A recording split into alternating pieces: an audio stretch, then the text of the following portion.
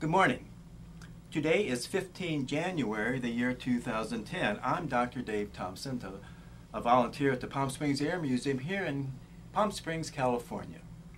Part of our mission is to record and preserve the study of our country's military conflicts, especially World War II. As part of the Veterans History Project of the Library of Congress in Washington, D.C., we conduct interviews of veterans and civilians who participated in our country's military conflicts, especially World War II. Today, I'm here at the museum along with fellow volunteer Dr. Jack Herlin, and today we have the honor and the privilege of interviewing Rena Schlochauer Sholton. Miss Sholton was born in Tanganyika in 1943 of parents who fled Germany in 1937. So we're going to talk to her about her parents uh, and their involvement in World War II and prior to World War II, and also about herself and her uh, uh, her life as well. Rena, so good to have you here, dear. Thank you. Okay. Now we're going to do this. Uh, oh, good. I don't have to look at myself. Um, get you lined up here. Okay, that looks pretty good.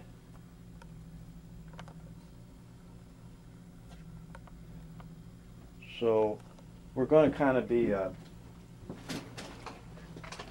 thanks, Jack. I left some of the stuff out there. Right there. Oh, okay, that's With my fine. clothes. Okay.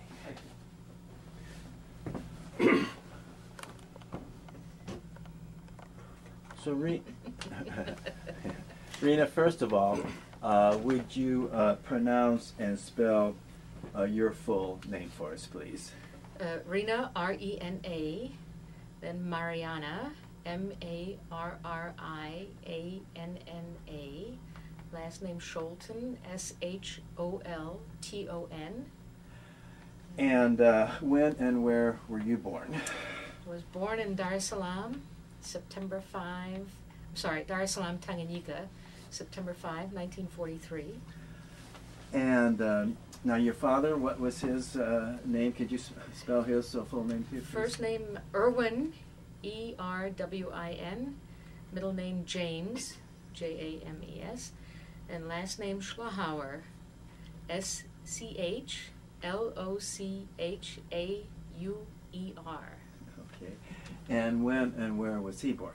He was born in Berlin, September 15th, 1915. And what did his father do? His father owned the second largest cigarette factory in all of Germany. What was his name? His name was Arnold Schlochauer. And uh, their uh, their background, did their families always live in Germany or? Yes. Mm -hmm. And can you trace In, back how far uh, your uh, ancestors went? To let's see, it would be. I don't have. I don't have that uh, to to be added. Yeah, okay. it's somewhere. Is it like a couple hundred years or it's more? East. It was East Prussia. Because oh, the, uh, the Germans were all broken up into different kingdoms, mm -hmm. uh, principalities, and uh, and then uh, I've forgotten who brought them together but somehow they united and became Germany. I see. Um, and your mother, what was her name and her maiden name? My mother's uh, name, Mariana, and her maiden name, Gergely, G E R G L Y, and that would be a Ukrainian name. And my mother was born in, um, actually, at the time of her birth, which was 19, uh, 16, 17, uh, would have been the Austrian-Hungarian Empire. But as a result of World War I and the remaking of the European map, it became Czechoslovakia. And so she grew up in a town called Berehovo, Czechoslovakia. But she maintained her pride in being a Ukrainian. So she was considered a white Russian? White Russian, yes. That's what she always said she was. as uh, opposed to the Red Russians. Right. And well, when she was born in Czechoslovakia, or how long did she live in Czech? Did she grow up in Czechoslovakia? Yeah, grew up and uh, uh, left uh, in 19. Uh, if I can look at my paper here, Sure. I think. Um, what was it?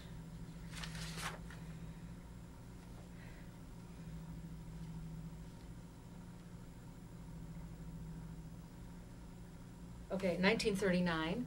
Her father, who was uh, very politically uh, uh, busy, uh, and he was for the the, uh, the um, independence of the, the Ukraine. So the Red Russians didn't care for him. The, the the Nazis were coming in, anyhow, taking over parts of the Czechoslovakia. So in '39, my my grandfather sent her out to uh, Greece to join her sister and brother-in-law, who were at that time uh, nightclub entertainers. but I want to back up just a little bit. Uh, when she was growing up in Czechoslovakia, were they under the control of the the Red Russians, or, No, or was, they, they uh, had their own yeah. deal? Okay. And what did her father do? Her father was the superintendent of schools in the district in which they lived. And what was the town? Okay. Barahovo. How do you spell that? Oh, dear. That's all right. That's all right. We're gonna get that later. all right. Um, so, so when she left in '39, uh, you said she was an entertainer. Had she been an No. entertainer all her life, or what? No, uh, she was in convent school to learn either to be a teacher or a nurse. There's a confusion between what my father says and what my my mother told me as a child. I understood she was uh, training to be a nurse. Um, so she she ended up in uh, Athens, where Irmush, my aunt, or Irma, and uh, my uncle George were nightclub entertainers, and she was sitting in just in a hotel room and, and doing nothing while they they rehearsed and did their performances. And after about a month or so, she had enough of that, and she said uh, that she wants to go home. That this is not no life to sit in this miserable hotel room and wait. And so uh, George said, you know, at this point, it's impossible for you to return. But I hear that you and, and Irma, when you sing quietly together, you harmonize very nicely. So what you what I propose you do is to sew some uh, costume, folk costumes, uh, Ukrainian folk costumes. I'll teach the band to accompany you, and you go on the stage, and the two of you will sing a couple of songs, and you'll get paid. And there, you're not sitting in a hotel room and being bored. And, and my mother then tells me the story. She said, Renushka, we went on the stage. We were so popular. George almost lost his job.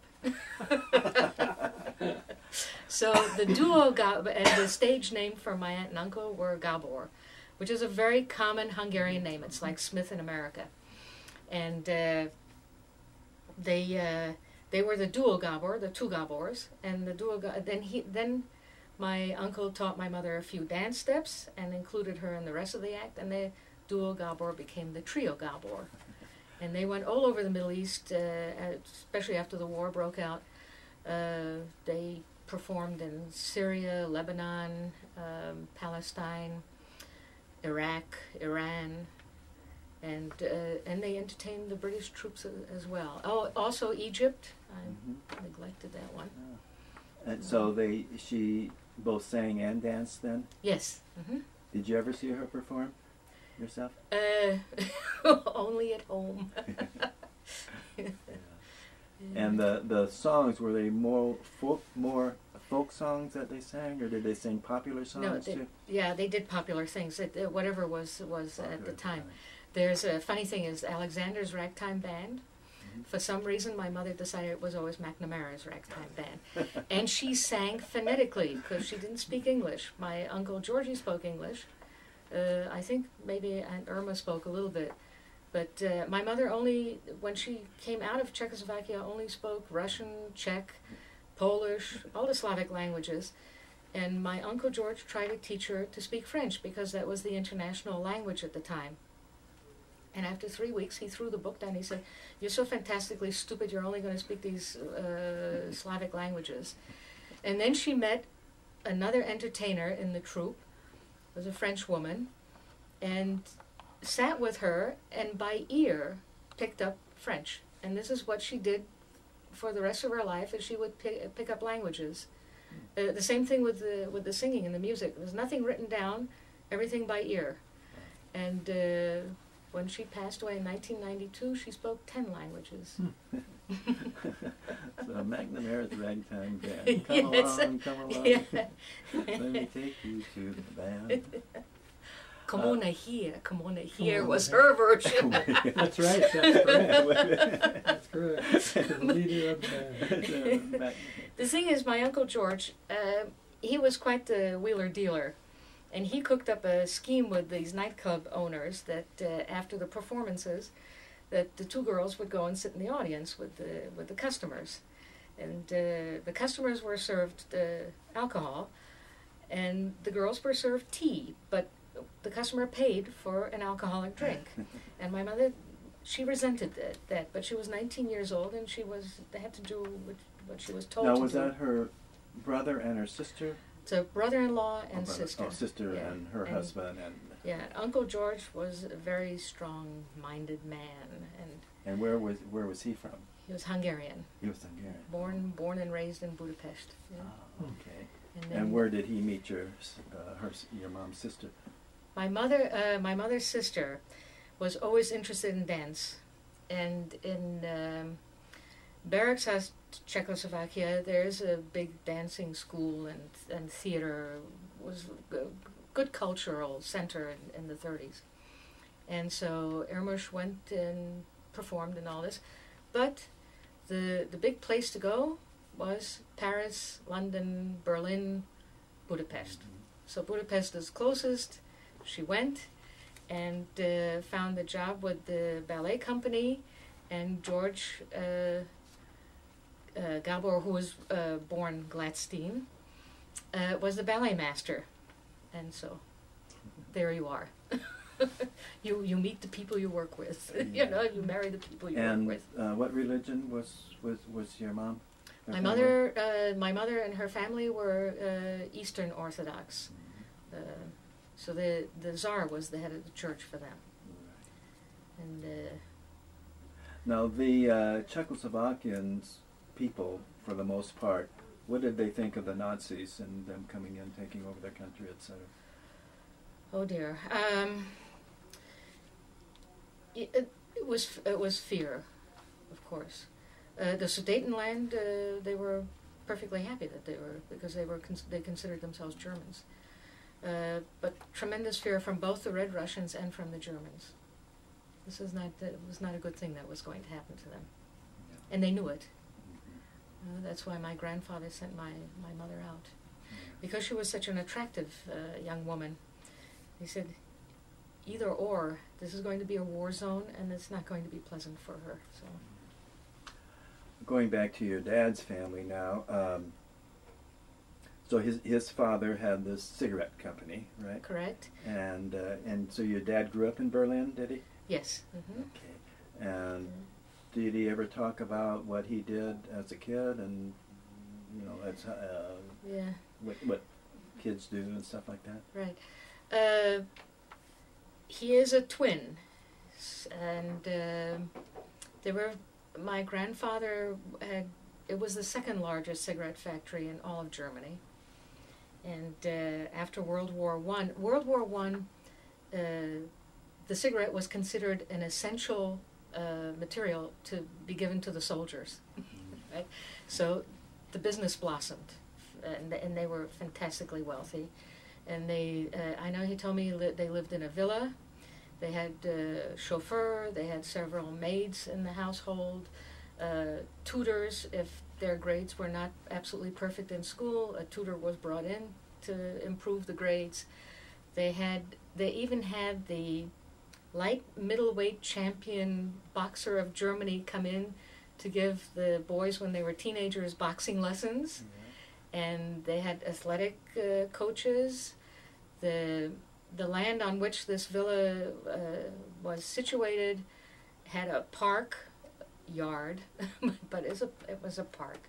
Uh, and they had a race course on there for the bicycle racing, and um, there was a pond in, in the front entrance of the property that when in 1920s when the film companies wanted to a scene with a lake they came and they filmed it in this pond Oh, and they had motorcycles and and things like that and uh, tremendously uh, all over Europe uh, and, and in all the best resorts of Germany. And they considered themselves Germans. And my grandfather had by uh, well he fell in love by chance with a titled uh, German young woman. And when he when she married him her family disowned her. But then when the cigarette company came to be so successful and my grandfather became a, a wealthy prominent german citizen all of a sudden arnold was okay in their eyes And what about religious background for that family? uh, well it's uh, my grandfather was uh, from a jewish family he was not uh, practicing uh, jewish it's, Mm. it's uh, the german jews consider themselves more german rather than uh, Jewish. There was um, maybe socially they were discriminated against. Uh, you couldn't join certain clubs. Uh, maybe you couldn't go to certain hotels, but otherwise, their life was uh, was magnificent. It was Uh-huh. unbelievable wealth.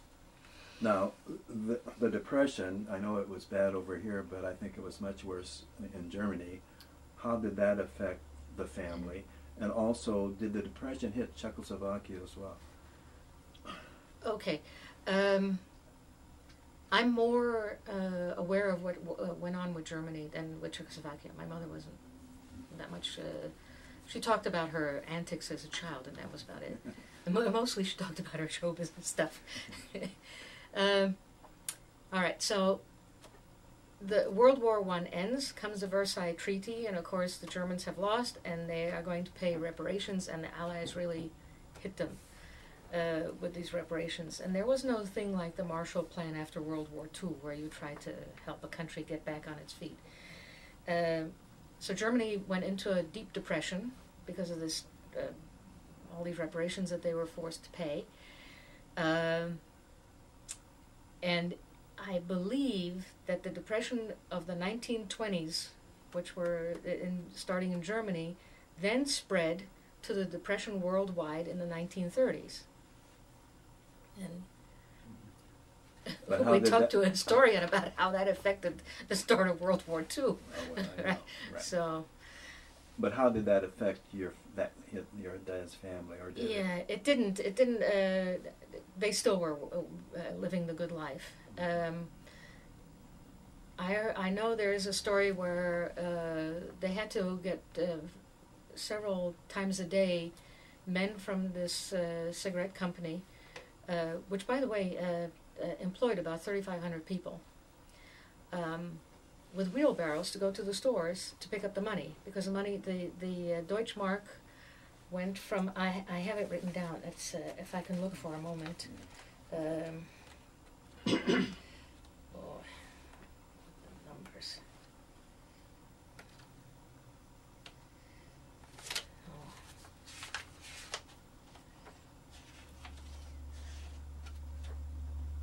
Oh. I I just, uh, wait a minute.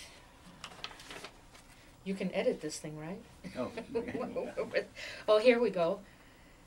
1922 to 1923, the Deutschmark went from one million.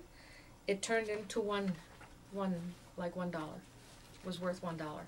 So they were carrying wheelbarrows out of the, Sure. the stores. My grandfather was obliged to pay the employees twice a day because the money was uh, so worthless. Yeah, but he t- he managed to keep his company going and keep his employees intact and, and, and paid. So when the um, when the uh, Hitler and his group st- came along, how did your family view that Uh, Well, initially? initially, all right, let's go it's from uh, it.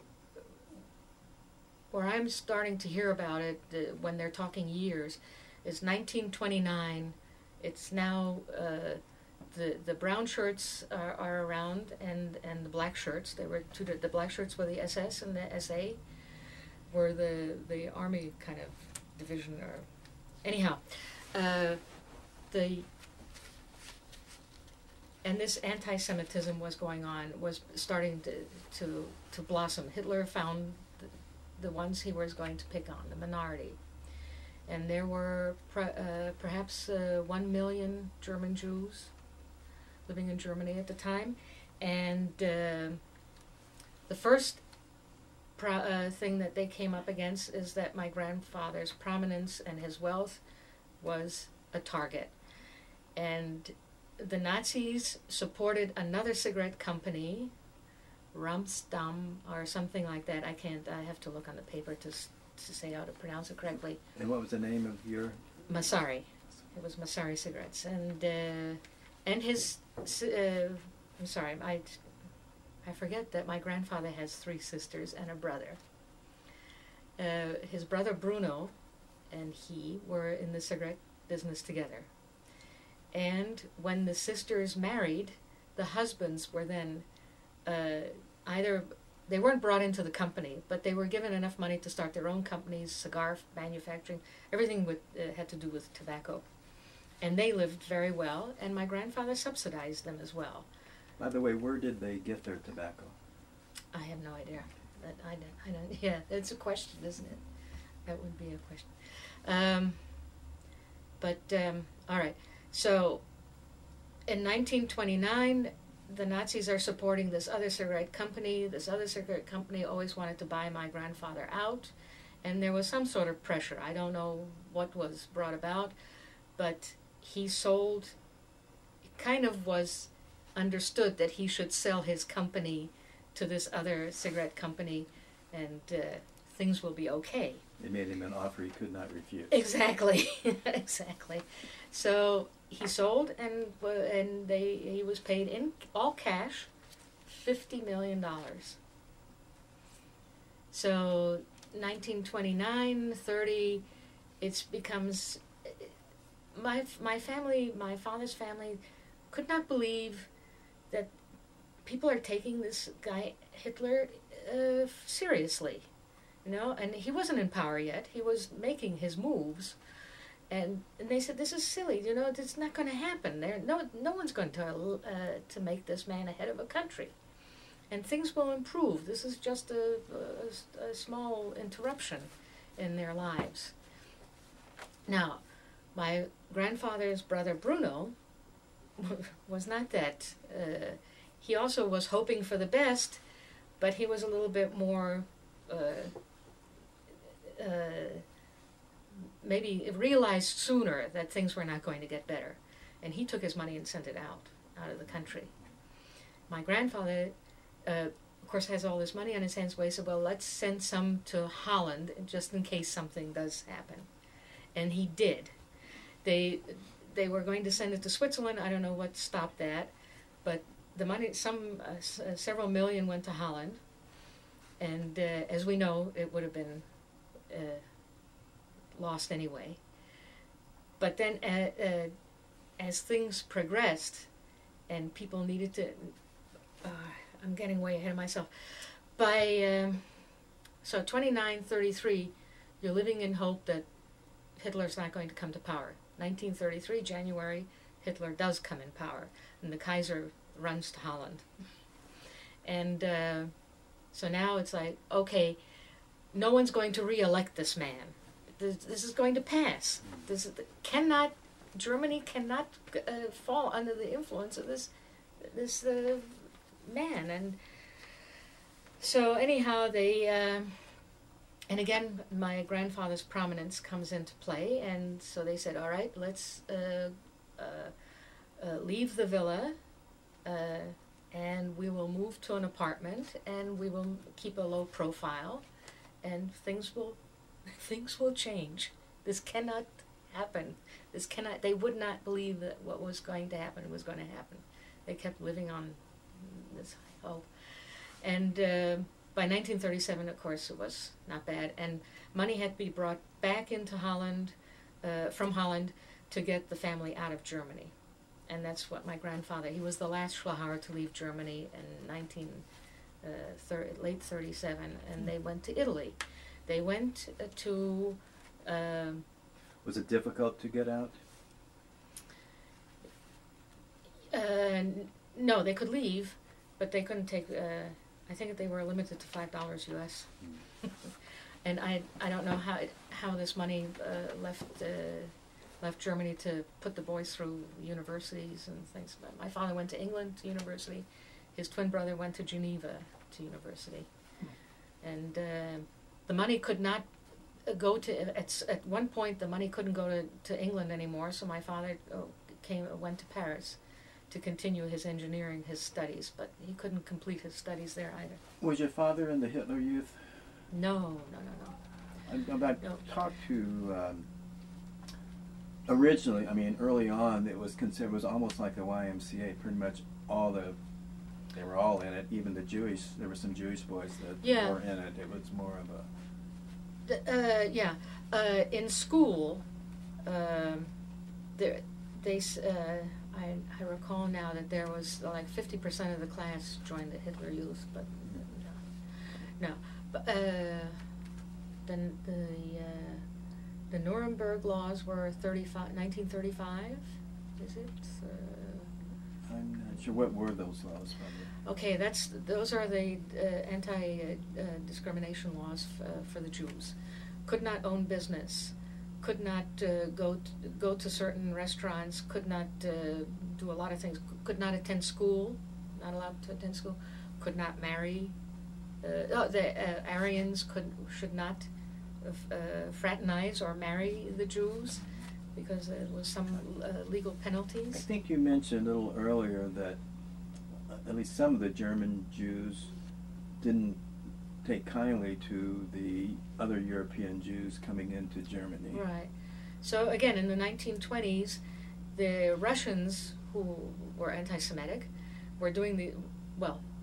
It's prior to that. It's we go into history, back into history. They, the, the the Jews were always picked on, and uh, the every once in a while the Russians would uh, would do these pogroms, and the the Polish would also do pogroms to clean out the ghettos, and they pushed the Polish and Russian Jews into Germany. And the German Jews uh, said, "Here come th- these guys arrive. They had they were not well educated. They were not uh, culturally elite as the German Jews were, and they spoke a terrible German, which is called Yiddish.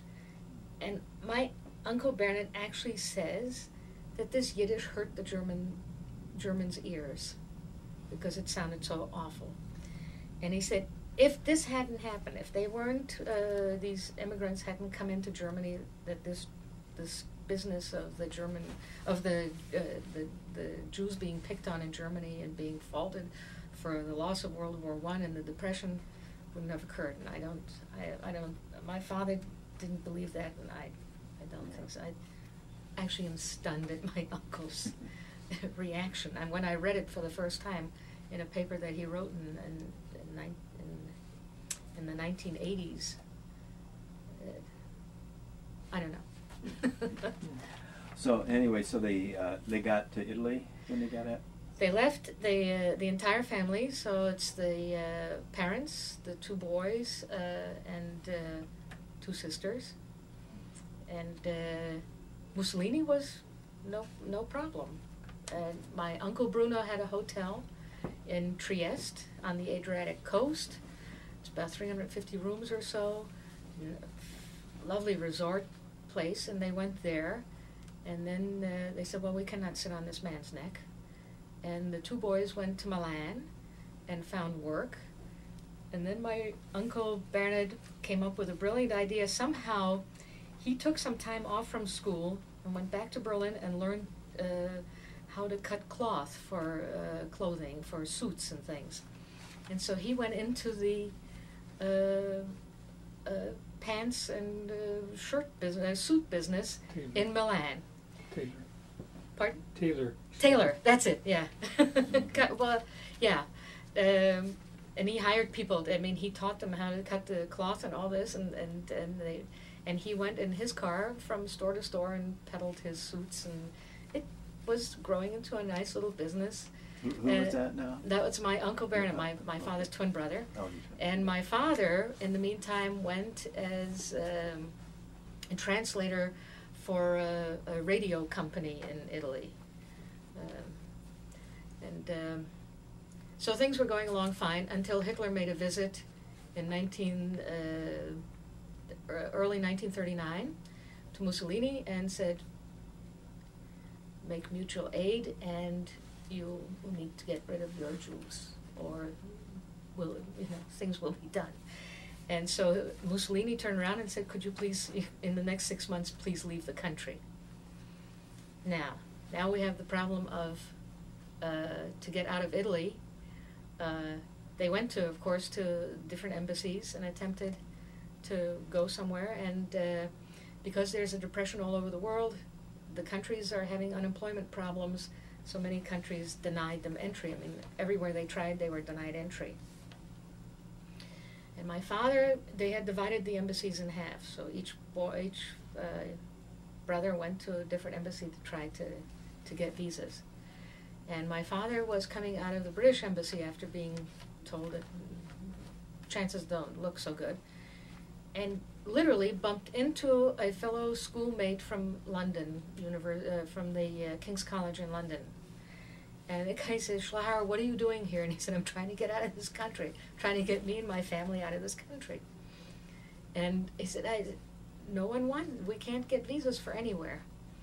And the guy said, well, I'm, I'm the, uh, I don't know what, uh, I want to say adjutant, but that's not the correct uh, for the diplomatic service. But anyway, he was an assistant to the British ambassador to Italy. And he said, listen, I can get you to Cyprus if you have a visa to continue to another country. All right? And my father said, well, okay, we're stuck. And he goes, no, you're not. He said, the Japanese have invaded China, and the Chinese ambassador to Italy is not going back. But to make money, he is selling visas to Shanghai. So, go to him. And so my father did. He went and he bought six visas to go to Shanghai. And then went back to his friend at the British Embassy, and they got their visas, and they left in the spring of 39. They went to Cyprus. And, but they were obliged by September 23rd, 1939, to then leave Cyprus and go to Shanghai, unless they could find something else in, in while they were in Cyprus, somewhere else to go, some other way to to get to a more uh, not not to go to China. And uh, my father then says uh, in Cyprus he found job uh, as a um, uh, working with two other fellows with seismograph with a station wagon that had seismograph machinery on it, and they were searching for water for the Brits. Again, this is a territory of the British, uh, Now, had he met your mother at this point yet? No. Meanwhile, she's in the neighborhood, right? and so um, he has that job. Uh, uh, I'm not sure what his brother was doing, but I'm, I know his brother had work, and uh, my father was being paid $100 a month, and Bernard was only being paid $90 a month, so there was this competition between the two of them. And but they were supporting their family, and uh, the British every once uh, once in a while would pick up the foreign aliens and uh, put them into uh, well they kind of put them in a nice prison kind of thing. But I mean they weren't locked up in cells or anything. But they had to be cleared to make sure that they weren't spying for the for the Germans or the the Axis powers.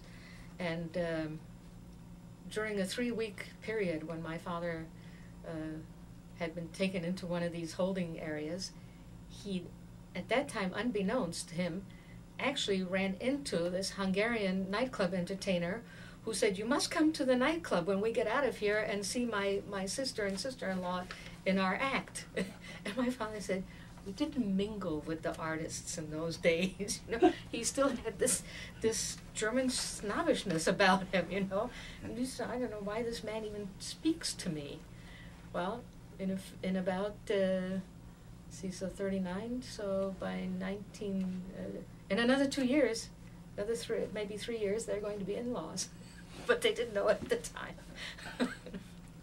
and um, anyhow, so now it's uh, beginning of September, and uh, so they said, well, in three weeks, you know, we better start thinking about packing up, and we're going to Shanghai because we can't. They could not find another country to take them. And then it said, my father, as my father put it, he said, as luck would have it, the British declared war on the Germans on on September first, nineteen thirty nine, and he said, and we automatically because we were we were uh, uh, alien. Uh, ref- um, in danger because uh, being Jewish, that the British took them under their, their wing. May I segue to my mother's story at that time in Sure. Cyprus? Yes. Okay, so she is entertaining in Nicosia and everywhere in the in the nightclubs, and of course the war, the British declare war. My uncle, who is Gladstein, uh, also known as Gabor, he and his wife go under the wing of the British because they are Jewish aliens. But my mother is a single Christian woman. I mean, not uh, uh, you know Catholic. So. Um, the, everyone's going to be evacuated at some point. And um, it's a couple of months down the road. But my mother is going to stay behind at the tender age of 19 or 20. You know? And who's going to look after her? So when the date comes that they're going to be put on a ship and, and evacuated, and by the way, my, my father and his, his family will be on the same ship to go to Palestine uh, my mother, Maritza, is going to be left behind. So they make the performance the night before they're going to leave, and the two girls, uh, as I said, always went out to the audience. They sat at the table and they were crying. And the district commissioner, a Britisher, who enjoyed their uh, act and who always came frequently to the nightclub, said to George, my uncle, said, What is the matter with the two girls? They're so sad, you know? And he said, Well, Irma and I are being evacuated tomorrow, and Maritza is being left behind, and we don't know what the heck's going to happen to her.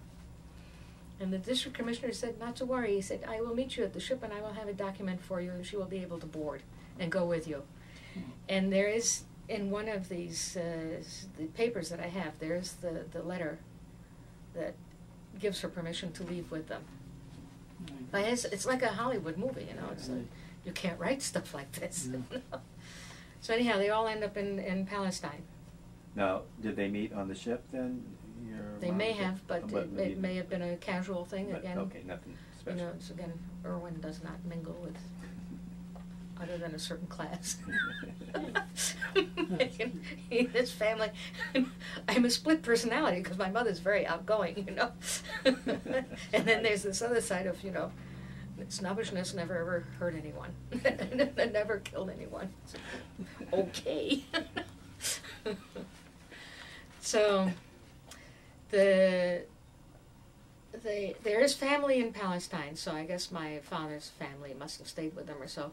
But the British also told these evacuees that uh, uh, when we blow the whistle, you're you're you're to come back to this boat because we're going to take you somewhere else because the Arabs got a little excited with all these Jews coming in, and that there's you know they're going to make a, a move for a, a, a Jewish state. So. Um, I don't know how long they were in Palestine, but then they were evacuated again, my father's family, and they were put on a ship, which ended up in Durban, South Africa, and then put on a train to take them inland to Nyasaland, because they didn't leave the aliens on the coast, because again, there might be spies and they might be, you know, making signals to the U-boats. And uh, so they're inland. Um, there were some Italian POWs on this ship of theirs as well, and uh, they were. My father was their translator, and uh, and uh, oh, it was a British uh, naval ship, so they needed a, a civilian liaison man because the civilians should not fraternize with the military, and because of his ability to speak many languages. He was the translator for the Italian POWs, and he was the civilian liaison between the civilians. But somewhere along the way, he must have slipped up on his job because the uh, ship's uh, doctor, a Britisher by the name of Percy Morell, fell in love with his sister Helga. And when the ship pulled into Durban, the officers made it possible for Percy to get off the ship during a four or six hour period, turnaround period, and to get Helga to the district commissioner, and they were married. And then Helga was put on a train, on this refugee train, to go to Nyasaland, and Percy got back on his Navy ship and went to war. Uh, the train ride takes 24 hours from Durban to Nyasaland. Is that in Tanganyika? No, that is uh, South. Uh, that was from uh, South uh, Africa. You go. Uh, it's between South Africa and Tang- and East Africa, so more central, uh, Eastern Central Africa. And uh, when the train arrives at the station, and then they're going to be taken by truck to to a camp. A fellow, a British uh, guy with a clipboard comes along, Mrs. Percy Morell, Mrs. Percy Morell, and of course Helga had, did not react because she didn't wasn't used to the name yet. and my uncle Bernard said, "Helga, that's you," you know, and he said, "Here, this is here is Mrs. Percy Morell," you know, and the fellow comes up to her and he said, "Mrs. Morell, you're a British citizen and you can't be hanging around with these aliens, so we're sending you to England." and so and and so she took another 24 hour train ride back to Durban and she re- refused to go by herself. So a- accompanied her. And just as well because they passed these Italian POWs who hooted and whistled at her and carried on. So anyhow so they put her on a ship and she ended up in England and she arrived in the middle of the Blitz with a German accent and Percy's family were not thrilled. okay, and the first thing they said to her, said, "You're from Switzerland. This is how we explain your accent, and we don't understand what the hell our son did." and so there you are. the girls did not have much luck with their in-laws. so, uh, at the in Nyasaland, my father, because he had an engine, he was a mechanical engineer uh, went to work for the British, and the first assignment he had was to build barracks for the African Rifles, and these are the native uh, Africans who are inducted into the British Army.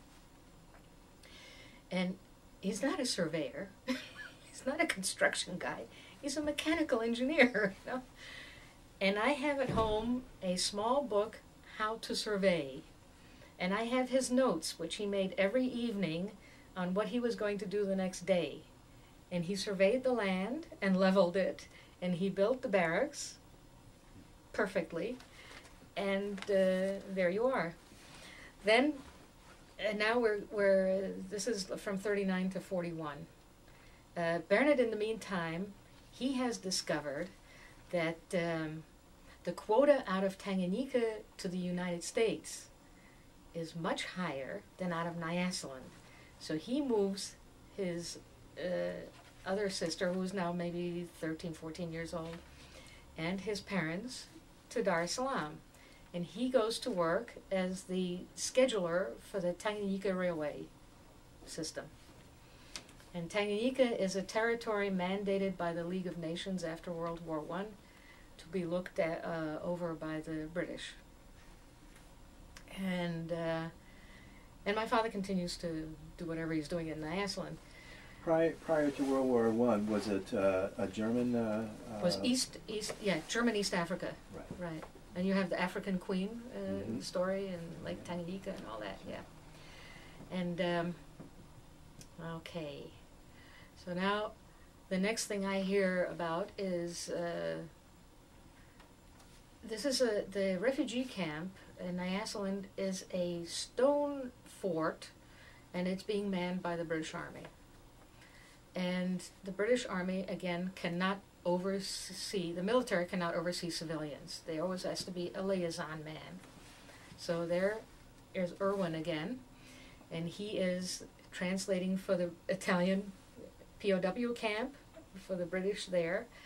He is, and then they have these many more civilian refugees coming, and so they he is the liaison man between the civilians and the British Army. In amongst, on a boatload, come a troop of entertainers, 40 of them, and now the head of the group, George. okay? And they arrived early December 1941.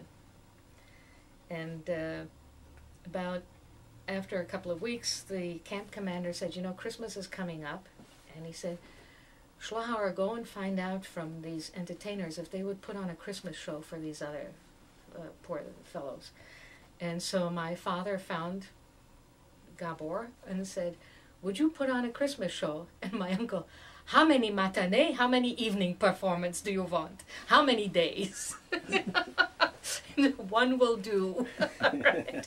And so they made the performance on Christmas Eve, and uh, it was all very nice.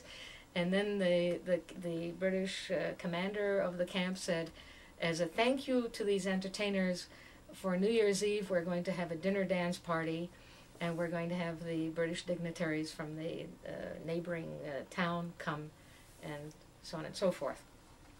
And I bring this up because this is where my parents will actually meet. Uh, my mother, of course, has seen this guy around the camp, and her roommate in her her little uh, bungalow, a woman by the name of Mara, she has the eye on this man. She said she heard rumors that he comes from a very wealthy German family, and when the war is over, he's going to go back, and we're going, you know, I'm going to marry him, and we're going to be millionaires. And my mother said, "Go ahead." She said, "He doesn't speak. He's very quiet." and he was a very serious man all his life, and he didn't he didn't talk much.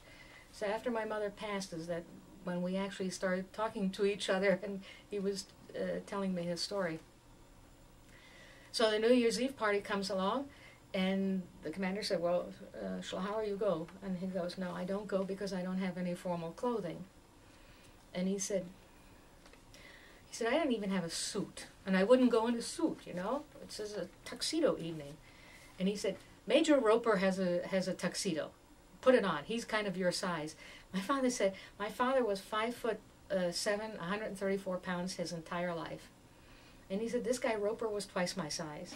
He said, Not only that, but the tuxedo had tails, you know, and the tails were dragging on the floor. so he just sat at the table during this di- dinner dance and didn't move. And my mother, on the other hand, she said, There was one British banker. He comes all the time to dance with me. And, but he kept drinking also. And he started to get a little familiar with me on the dance floor. So she said, I see that he comes again, this guy. So I get up, I go over to her father and said, This dance is yours. And she said, We dance for the next 50 years. Ah. so, 10 months later, they married in mm. August. So. And what were their, uh, how did they feel about the British? Oh, tremendous! The tr- tremendous regard for the Britishers. They did. They did take very good care of them. They took a, had a tremendous sense of responsibility for these people. Yeah. And we met some. uh, They they met some very nice. Even though uh, our uh, my father eventually takes my mother to Tanganyika. She was seven months pregnant at the time, and they took a ten day uh, trip with a truck and boat across uh, Lake Tanganyika, and then another truck uh, to get to Dar es Salaam. And uh, then he got a job as assistant manager on some plantations that the Brits had in, in Tanganyika.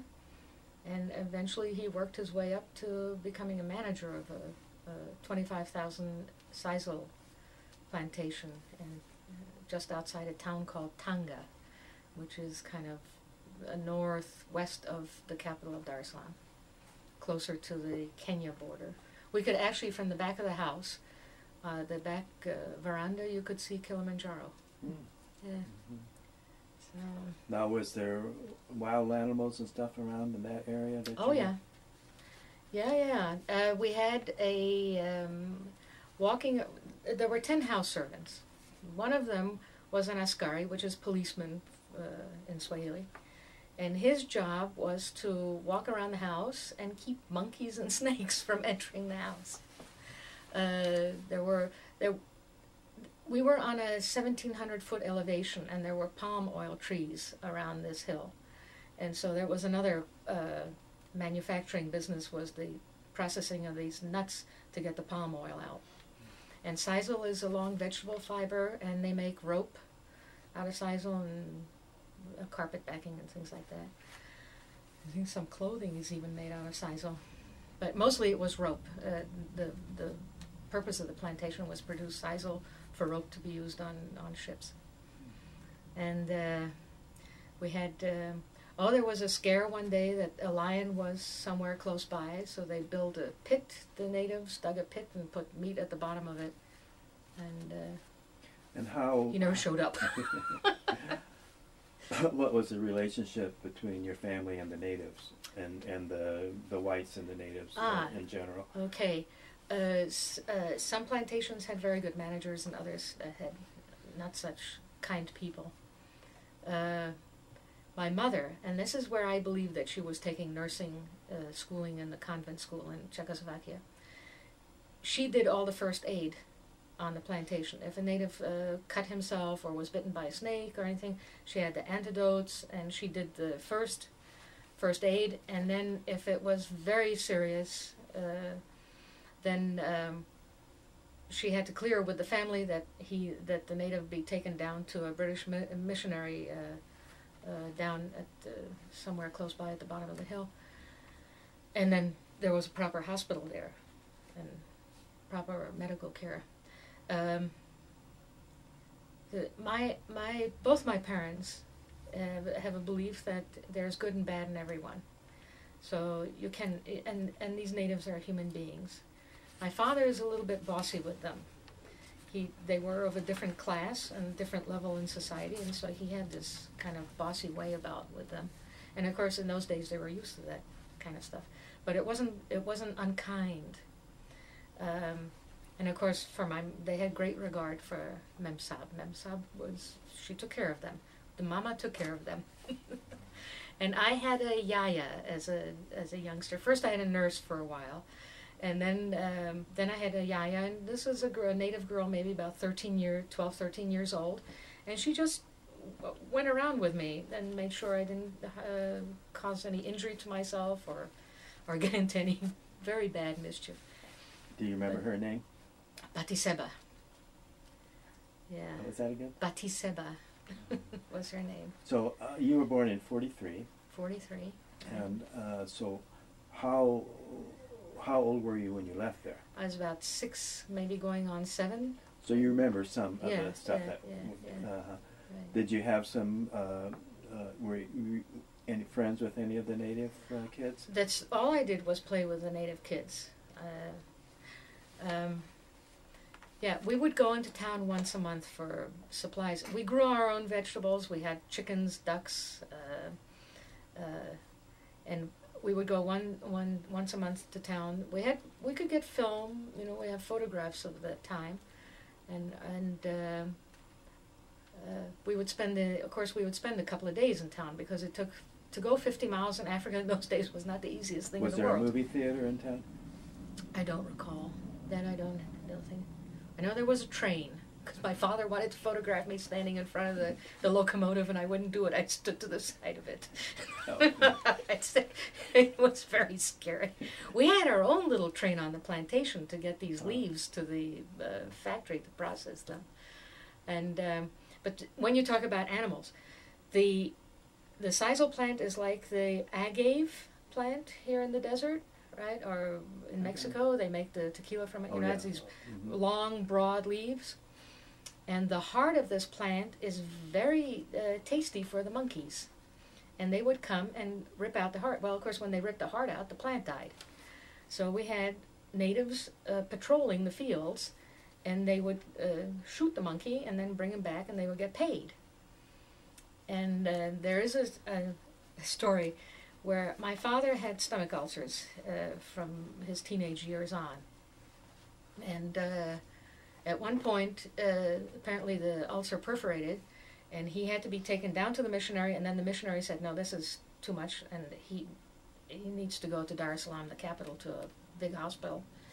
And my mother was left on the plantation with a nine-month-old child, baby, with fifteen thousand natives, all by herself, and she slapped the gun on her hip. Didn't know how to use it, but put the holster on and ran the palm oil factory and the sisal factory. But the thing with the monkeys, she didn't know that they, they did when these guys brought the monkey, they chopped the tail off because if you didn't, they kept bringing the same monkey back. and first of all, I think they did it for the money. But the other problem was is they were collecting ammunition. You see, they were only permitted one bullet at a time. So when they killed a monkey, they brought him in, they got another bullet, and they got their money. And so she said, all of a sudden, you know, it's on the third day, this monkey was looking pretty ragged, you know, that this one guy was bringing back. And so she said, what, what is, you know, and, and the assistant, who was a native, said, you know, well, this is, this guy is tricking us. He's tricking you. So anyhow, that was solved. And then, of course, now she doesn't know what the condition of her husband is. He's in hospital hundreds of miles away, and, and this, this can't continue that she runs this plantation by herself.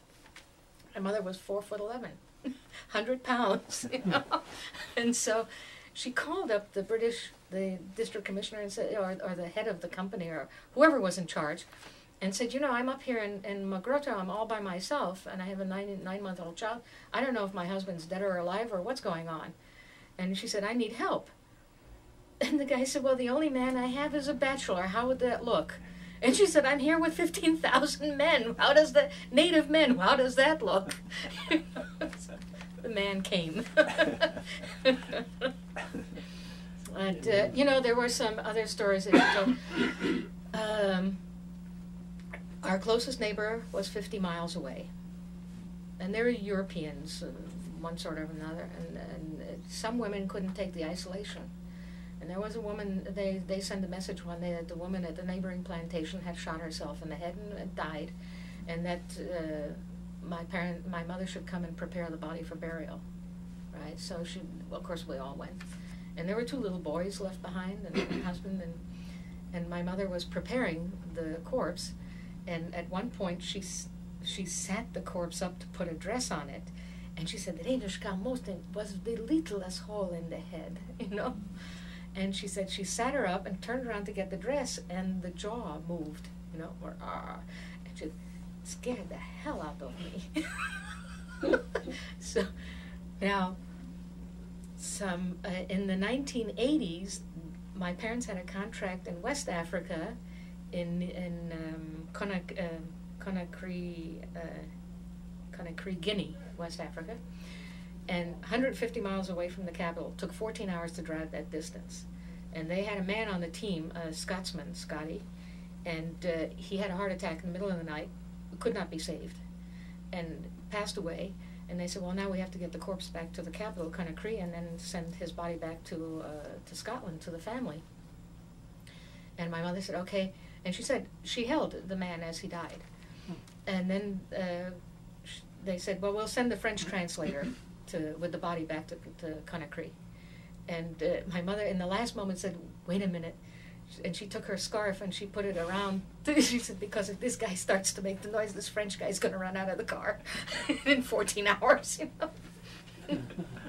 so anyhow, I I leave the story. uh, um, so you really didn't have any other white children to play with? No, no, no, no.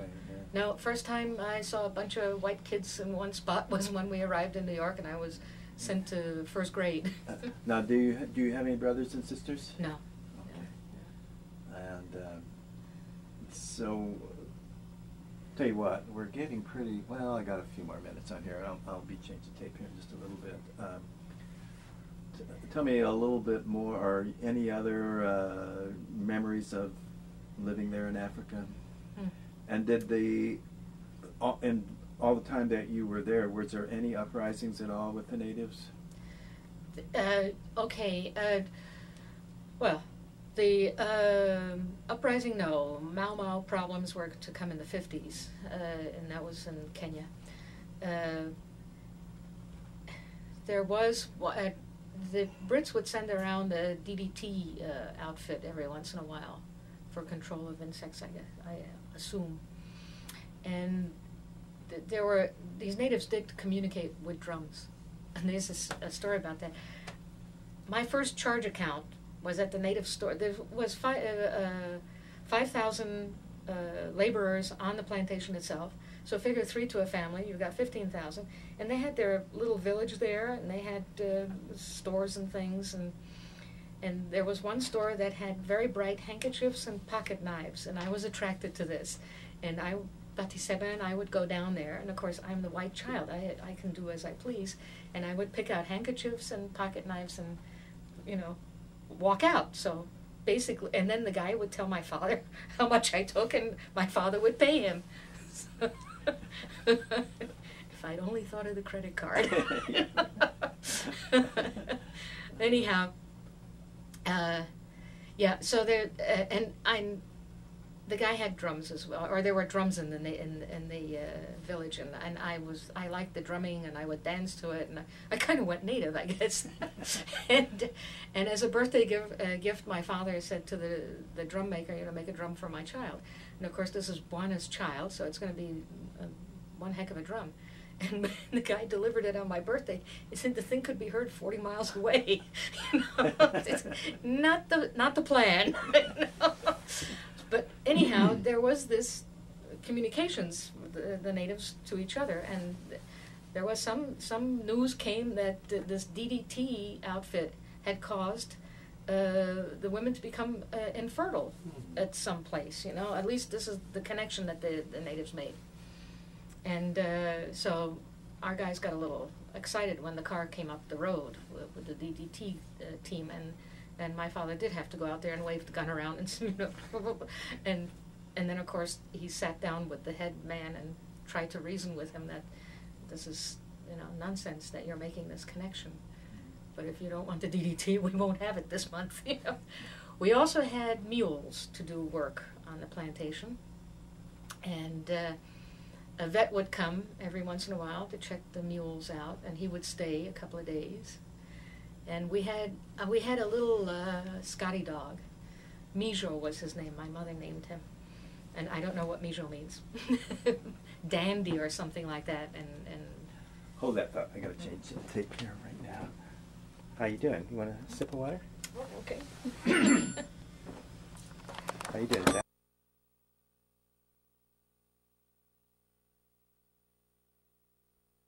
yeah, Oh, I. Oh, oh, stop, stop, stop, stop. That's a question. Want anything, David? Uh, no thanks. Jack.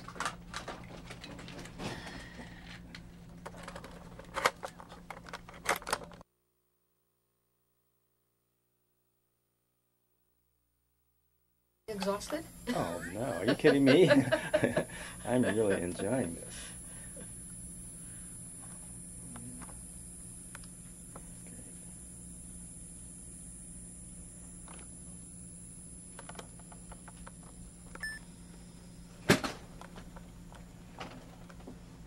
Oh, okay.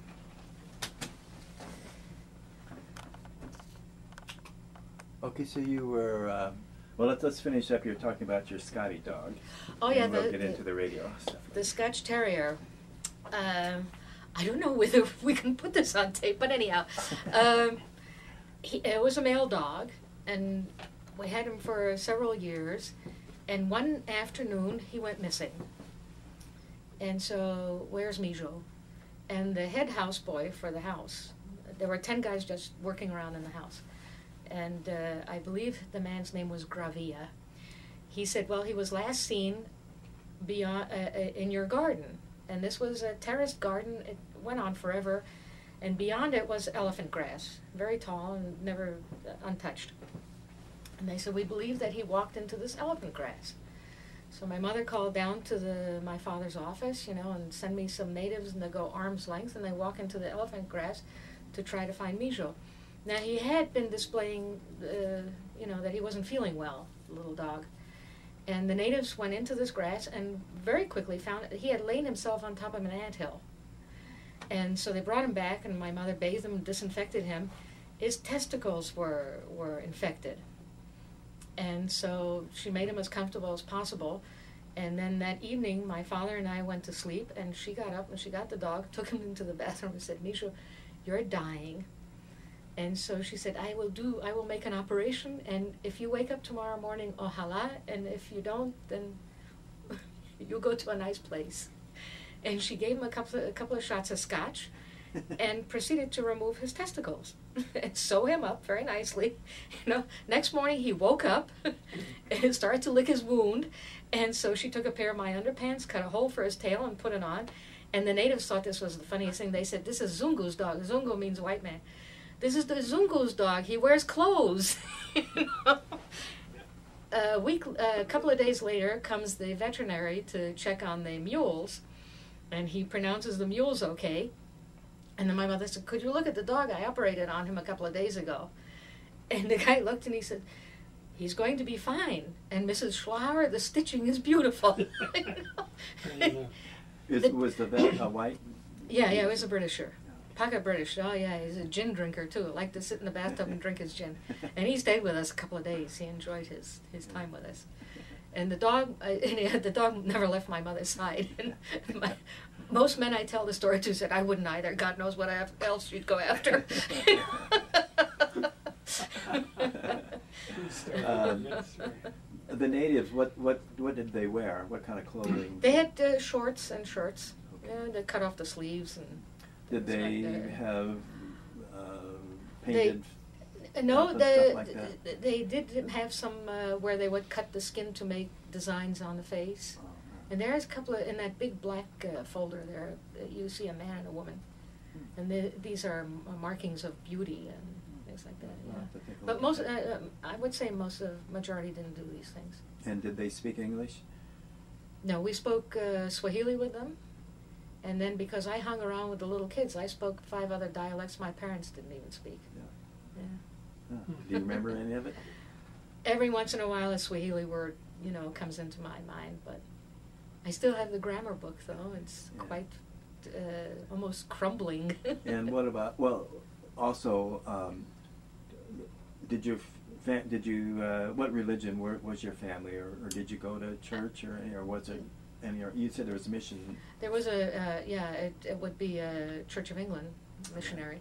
Um yeah, that's uh, you should mention. So I'm born in the hospital, and my mother is uh, Eastern Catholic, and so she's she does not want to remove me from the hospital until I'm baptized because if something happens to me, I am a lost soul, right? And Limbo. the closest church was the Church of England, so I'm baptized Church of England and my mother uh, her Russian church, and my father. He, uh, you know, after World War II, uh, it was the the Jewish again is the the Jewish question is always uh, it's trouble for business. It's you know, although he walked around with a chip on his shoulder and he let you know that he came from a, he was descended from a Jew. My uncle Bernard covered up. He would not. He came to the states first, and there was still this gentleman's agreement going on. Uh, you know, uh, and he worked. Uh, he went to Columbia University at night and got his CPA, even though he had a, a degree in economics from the University of Geneva in Switzerland, and. Um, he worked. He went to work for a big uh, accounting company, and although his work was perfect and people liked him, they couldn't remember his last name, and it had a Jewish connotation to it. The name. So Bernard is the one who invented the name Sholton. You know, he just put it together by himself, so it could not be. You can't identify as Scandinavian, German. What is it? You know. And uh, and then he got a job with um, Gulf Oil and definitely hid his background because it would not have been accepted at Gulf Oil. And he worked his way up, and uh, at the age of 60, he was, at 60, you were forced to retire from Gulf Oil. It's like the airlines. at 60, you're out. And he retired from Gulf Oil as the vice president of marketing for the European division. And this is your uncle you're talking about? My uncle Bernard, yeah. Hmm. Okay. Yeah. And so, how did you get the Sholton name? when we came, okay, so Bernard and, and the parents and the uh, mate of the youngest uh, sister, they came to this, they got their, their visa to come to U.S. in 1946. And we arrived in late 49. And um, uh, Bernard, of course, told his brother, you know. we need to, you need to get rid of that name. so, so we did. Yeah, okay. There was some Judge Davis at the federal uh, courthouse in Brooklyn uh, made the final stamp of yes. Yeah. Well, back back to Africa now. Um, did you go to school? Have any school to go to or anything? No, no, too far away. Everything was too far away. And I was, I was, I mean, I was still just six years old, so.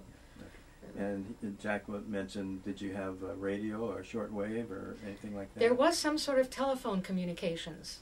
I don't know how it was done over these great distances, but I remember uh, going to my father's office on the plantation and and seeing the, this thing, and at one point I made some sort of scratchy. I was age of four, some boxes and lines and things, and I said. I've invented this machine, and I think the King of England would be interested. So send. You should call him and tell him about it. yes, after you leave, I will call. But I mean, any communication with the outside world, basically. you- oh, uh, radio, Ra- shortwave radio. did have Yes, we used shortwave, to we used to listen to Churchill. My mother and I didn't know what the man was saying, but my father understood him. Because the common language between my parents uh, was was French. So you did not know English. I did not know English when I arrived in America. No. And uh, and and and I almost made a terrible faux pas in Paris because we went um, from uh, To say from we flew we took a bus to Nairobi and then we flew to uh, Tunis and then we went uh, connected with another aircraft and finally ended up in, in Paris and we stayed in Paris for a few days and my parents knew my, my father knew Paris very well and uh, he dated a Vogue model there when he was a young man. Yes, the the niece of the painter Claude Monet. really, yeah. Betty Bogart was her name. It's funny because it's not not uh, the one who married Bogart, yeah. Lauren Bacall, and she was a cover model, yeah, for Vogue, Mm. Paris Vogue. And my mother said, I let him to look her up to see if she's still around because I wasn't worried. and uh, but the faux pas that I almost made in Paris was uh, we were in, uh, we went in the hotel. We went to the restaurant to eat, and this is the first time in my life that I saw a white man serving a white man. And I luckily chose that moment to to use Swahili and not French. Why is the Zungu serving the Zungu? Why is the what? I could have said it in French, you know, and really mucked things up. But and my mother then told me, she said, from now on, things will be very different. That's, Uh, um,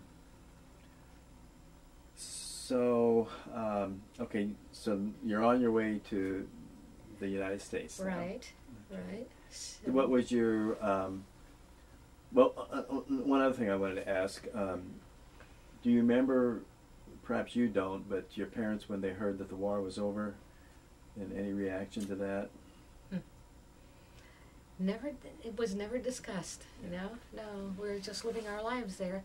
There was, uh, oh, as I told you before, in 1948, the Refugee Commission uh, of the League of Nations wrote my father and said that uh, since he was evacuated out of Cyprus, that they are now very happily going to repatriate him to Cyprus. And of course, he was not from Cyprus; he was from Germany, and so and and he wasn't interested in going back to Germany either. He had made himself a nice life here in Africa. I mean, he had hit the top that he could get to, and things were going very nicely. And so he wrote back to the uh, to the commission and, and asked permission to please be left alone and if he can stay in in Tanganyika.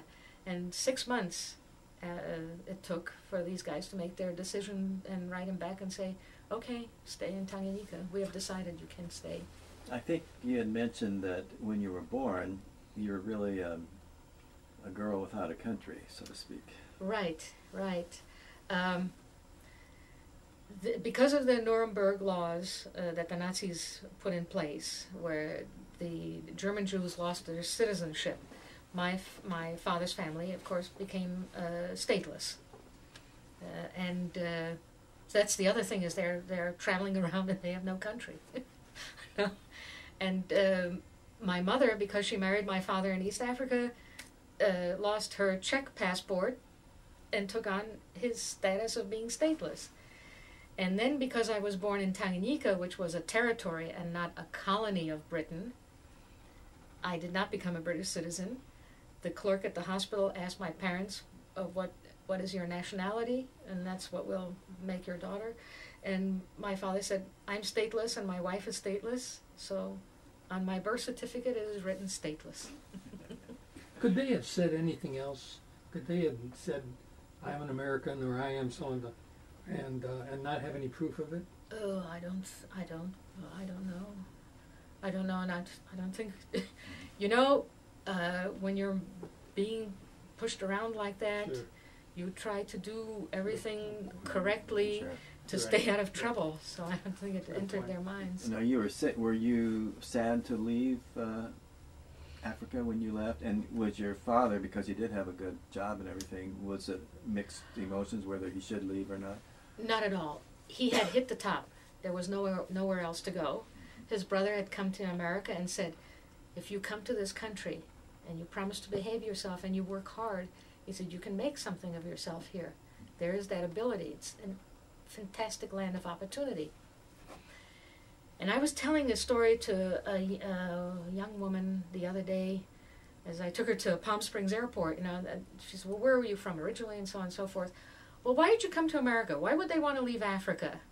And I said, everybody wants to come to America, you know? I said, you don't understand what you have, you know? It's, uh, I wanted to ask you: um, Were there any remnants of uh, the German, uh, either German people still living in Tanganyika when you went there, or the culture and stuff like that, or had it pretty much become Brit- Britain? it was it was British, through and through. Okay, so you, you make it to Paris. Oh, there was some Greeks there. Oh. yes, I think there was a Greek community. I don't know, maybe there were some Germans, but I'm sure they were quiet. Yeah, right. So you're in Paris now, right. on your way, and then what? then we board a uh, a um, what was it? A super constellation. TWA. TWA super constellation, and we arrived at Idlewild Airport, and it was Quonset huts in those days, and. Uh, we uh, we were obliged in order to get into the United States. Not only do we have the visa, but we are then obliged to prove that we have a sponsor in America who will take care of us in case we, my father fails not to be able to support us. Uh, and we also had our little chest X-rays to show that we were healthy, and all sorts of medical documentations to to show that we were in good health. And we arrived, and uh, uh, my father found a job with a, a, a fiber company. Um, asked me, I don't know what the name of the company was, but uh, they were doing a lot of business in the Caribbean, and so he traveled there. Was this in New York City? In New York City, lived? yeah. Do you remember uh, where you first lived, or what oh street yes, you're on? one one oh two dash thirty five sixty fourth Road, Forest Hills. Hills, oh. Yeah. In an apartment building on the sixth floor, one bedroom. The money my parents brought from Africa translated to U.S. dollars, very little. And so my father had the day job of uh, working for this uh, fiber consulting company. He sold Nash cars uh, after work in the evening, and he translated uh, German documents for the U.S. Army, for which he was given a medal and a and a certificate of merit. I had a 1950 Nash one thing. Is that right? yeah, yeah, yeah. The, the big jelly bean. You're right.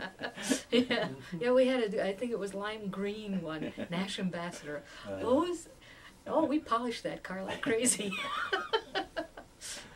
And the neighborhood that you lived in was it kind of an ethnic neighborhood, or, or yeah. what? Oh yes. Oh yes. A little bit of Uh-huh. everything. A little bit of everything. Yes, indeed.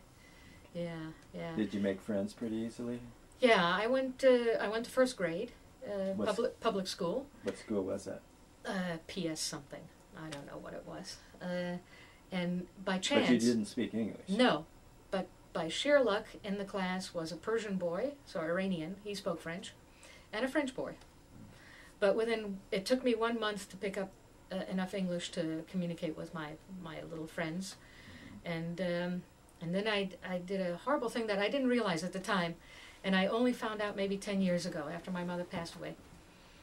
My father said, You came home from school one day and you announced that from now on you're speaking only English and nothing else. And he said, Your mother almost died because she spoke very little English.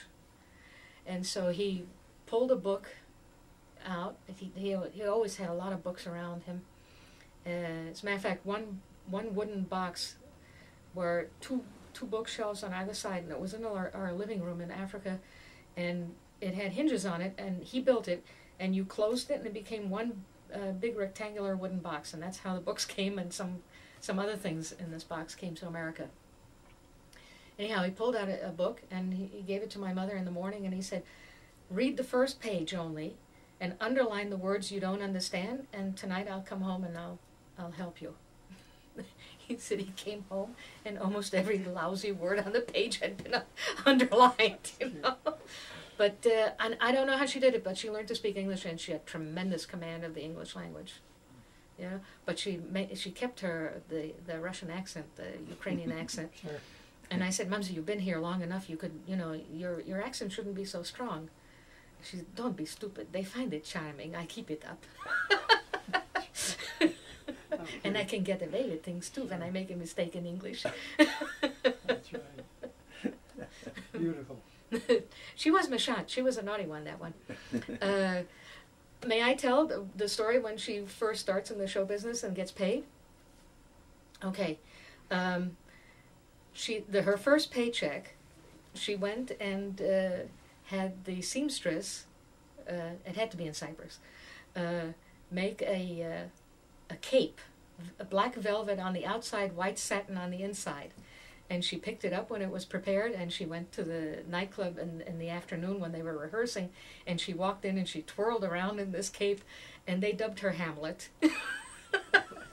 Here she comes with her cape. Now after the war breaks out and wherever they are it's uh, they're under british uh, and again you know they're they are checked out every once in a while. Their papers are checked and they're checked out that they're not spying and so on and so forth and uh, she decided she was not going to go to rehearsals in the afternoon, and she went around played around somewhere doing some, who knows what. And she comes back in the afternoon, and she walks into the club, and the other entertainers they said, "Oh, he's so angry that you weren't here. He's so upset," you know.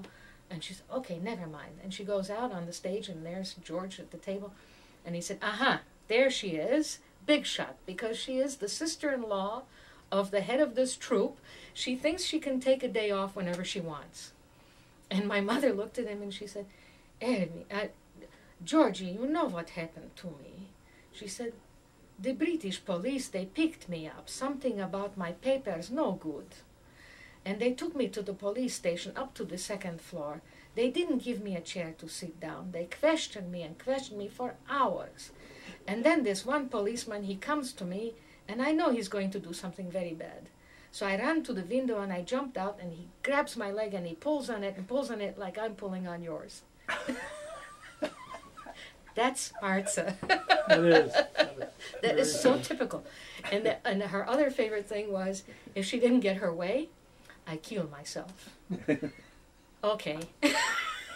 this went on forever. Funny. Did she um, did she work at all in the states? Ah, there's a story there too. Uh, she wanted to. Uh, I got to maybe the sixth grade, seventh grade, and she thought, you know, the kids, uh, she's big enough now that she can take care of herself.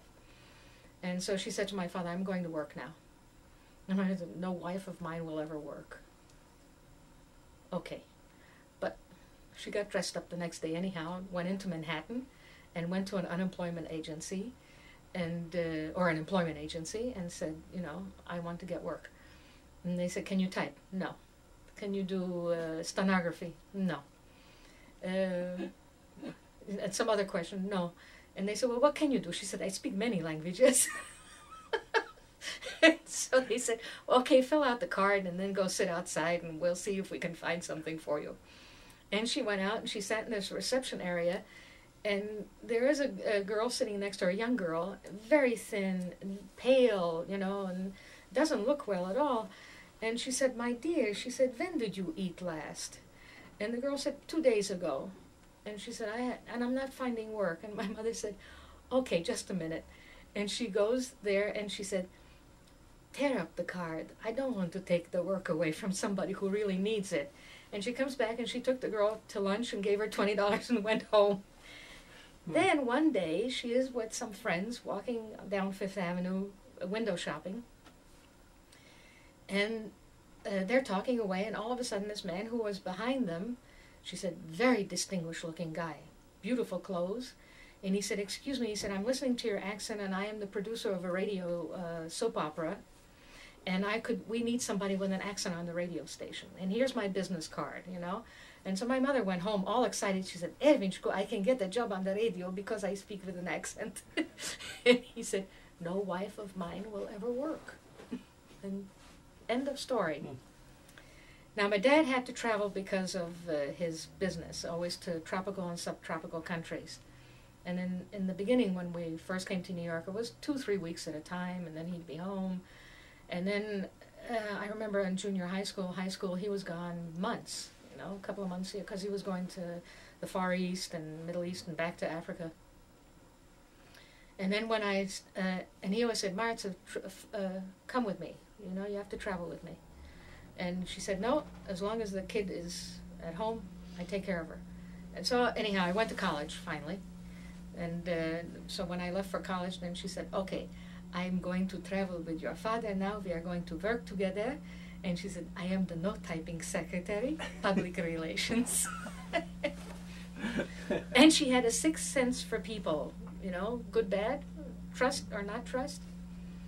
And my father never closed a business deal until my mother had dinner with the people. And then she gave thumbs up or thumbs down. Like most women. Yeah. Mm. I don't. Yeah, that's I'm, true. I'm, I'm a real stinker. I'm picking people. Where did you go to high school? Um, all right, I went public school through junior high, and then the choice at that time uh, we had moved to Jackson Heights, and from that junior high school you could be sent either to Bryant High School or Newtown High School, and this is 1959 or 58 somewhere around there, and in those days the the leather jackets and the chain gangs, you know, it's the the, ga- the gangsters. today is so mild. It's so yeah, so mild compared to what goes on today. And my father said, "No, you're not going to go to either one of those."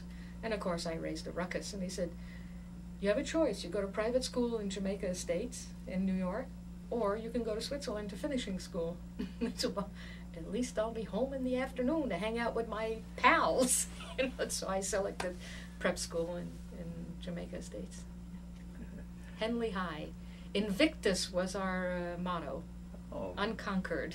yeah, well, that movie just came Yeah, out. I yeah, saw yeah. I know. Did- when did my roommate said to me, she said, "What does Invictus mean?" I said, "It means unconquered." She said, "How do you know this stuff?" I said, "It's a fantastic brain." I said, "No, my high school. That was the the yearbook." right. And so, um, um, did you have any uh, side jobs or anything like that when you were growing? When you were?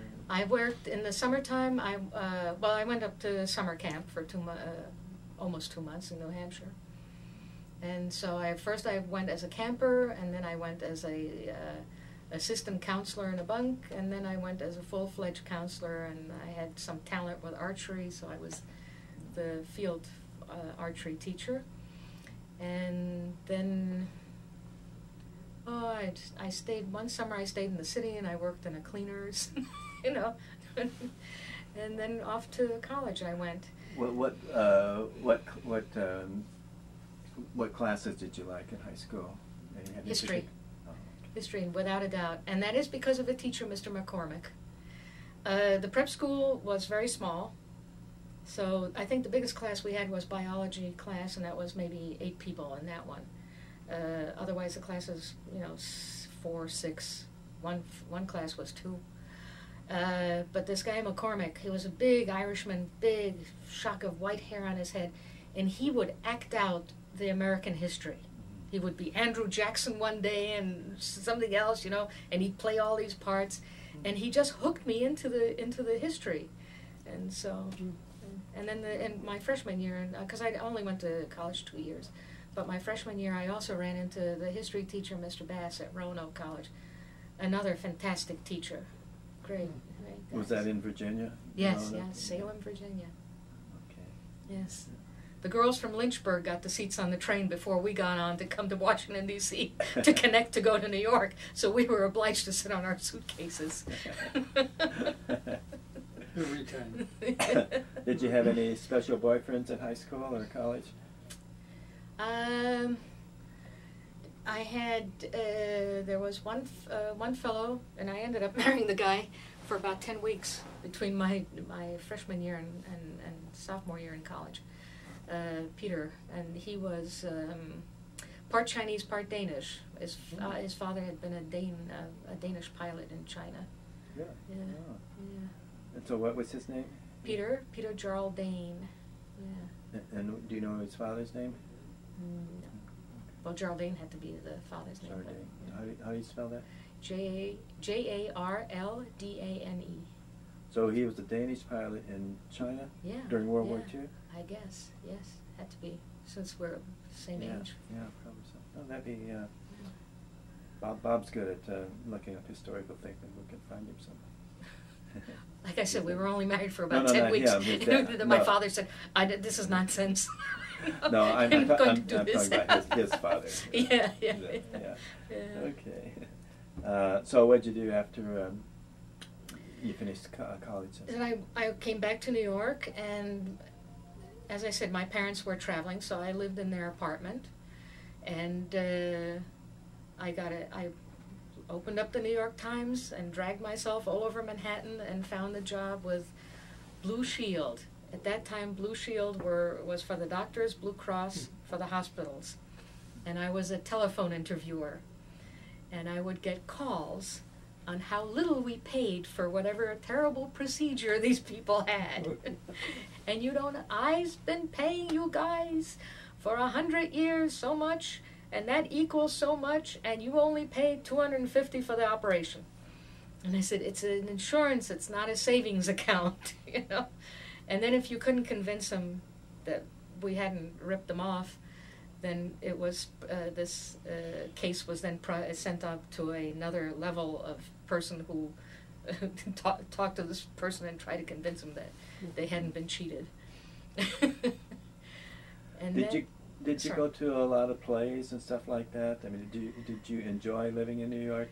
Yeah, later on, as I, I got a little bit older, more, more mature, I was, a, I was a, my uncle George always said you were a very young, whatever age you were. You know, I, I don't know what I was piddling around, and um,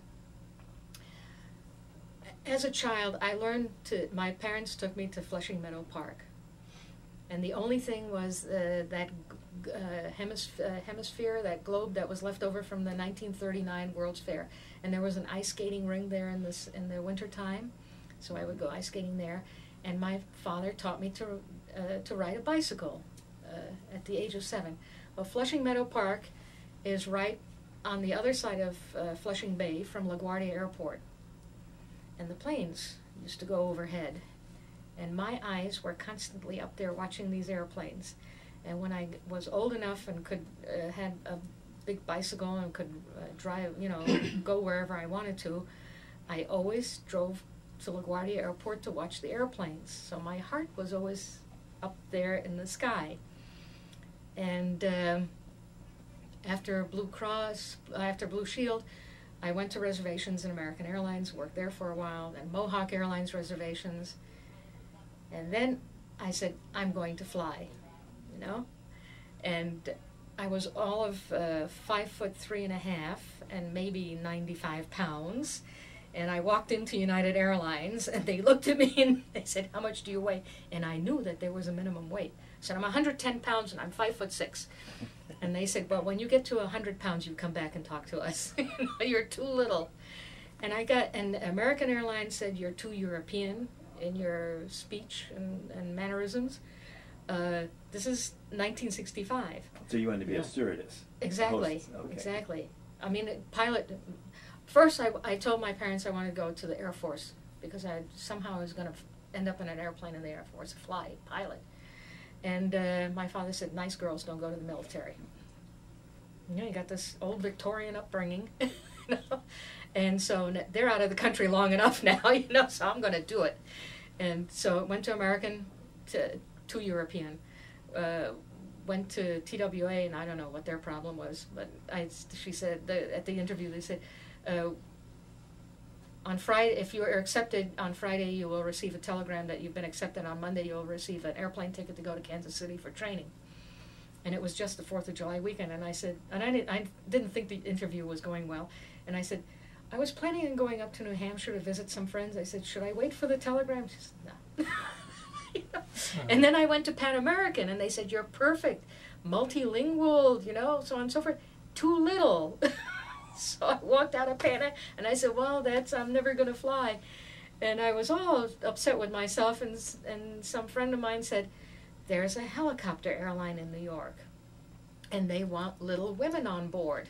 Okay, where are they? They're at the Marine Air Terminal near LaGuardia.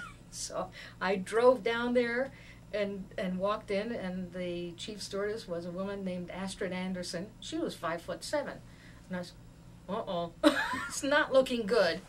And so talked to me for a while, and she said, "Okay, uh, you're going to now interview with a gentleman, uh, VP of Operations." So I interviewed with him, and they said, "You're accepted." Ah, seventh heaven. I flew for New York Airways for 15 years. Is that right? We were a commercial scheduled airliner. Consequently, uh, they were obliged to have a flight attendant on board the aircraft. And the uh, president at that time decided he was going to have lady stewardesses. Where LA Airways, San Francisco Airways, and Chicago Airways doubled their cargo agents as a as a flight attendant.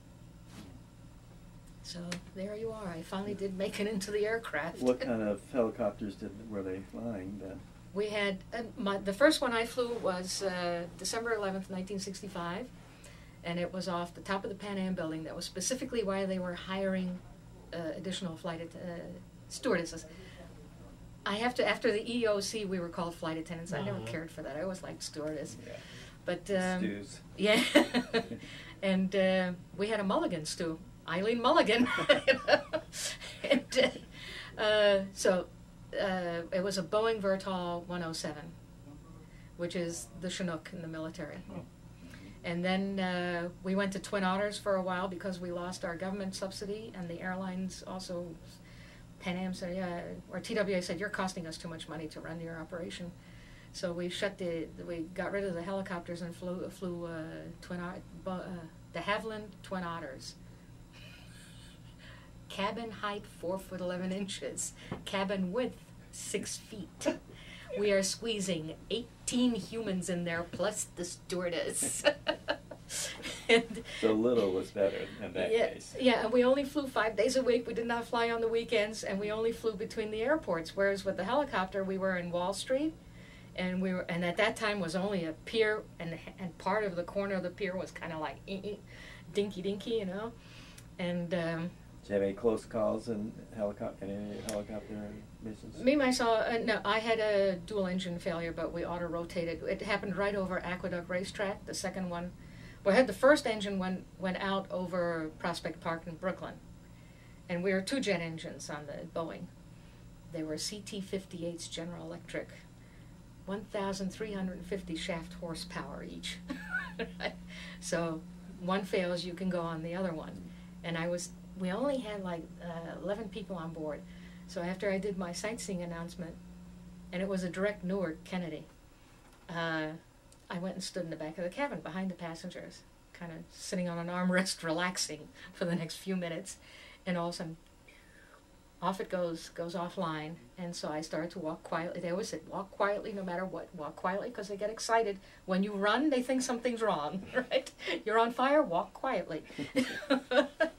and so I walked quietly up, and we had we had the uh, cockpit door open all the time. And we were taught to read mm, uh, the instruments. We we gave altitude and airspeed, and plus, after a while, you learn what these other little needles are doing. And sure enough, one whole set of needles was lying sideways, and uh, and as I was observing that, all of a sudden, the other needles went went to went to sleep, and there's Aqueduct Racetrack, and um, I had not flown with his captain that much. He had just come back from six months leave. He had suffered from vertigo, you know. So I'm going, okie dokie, you know. So I turned around and I see that, you know, we're going to ro- auto rotate, and we have done this during uh, maintenance checks after aircraft has has been maintained. The pilots will test fly it, and sometimes they'll test fly it with us, especially in the morning. They would test fly it with the stewardess, so they don't have to go back to the hangar and get you and then we'd go to the airport and start our day. when the union found out about that, they got a little excited, and we said, "No, this is the best time. It's the best part of the the work day. You know, is doing all these flippy floppies up there." so, and and I just turned around, and they, according to the manual, the captain tells the co-pilot, the co-pilot tells the stewardess. Not in real life. the both of them are busy, and they're their radio, their little radio buttons are just, you know, like little crickets up there. So I just turned around and made a normal announcement that we're approaching Kennedy and to please make sure their seatbelts are securely fastened, put their cigarettes out. and I did the seatbelt check and came and sat down and I sat in the seat that I could see in the cockpit. And we landed right on the numbers 1 3 left, right at the end of the runway, 1 3 left. And uh, I stood up, and of course, I'm waiting that they're going to talk to me and it's quiet because the engines aren't running. Right? The blades are slowing down, and they're not talking to me. But I see out of the cockpit window that the fire trucks are coming. So I go, what? You know, they shouldn't get excited, my little passengers. So I spun around and said, you know, we've had some sort of mechanical difficulty, but everything's under control and there's no problem. And the fire trucks will be surrounding us just as a precaution. You know, nothing to get excited about. Please remain seated. Nobody's telling me to get them off. and I'm waiting. and the Port Authority fireman opens up the doors, get him out.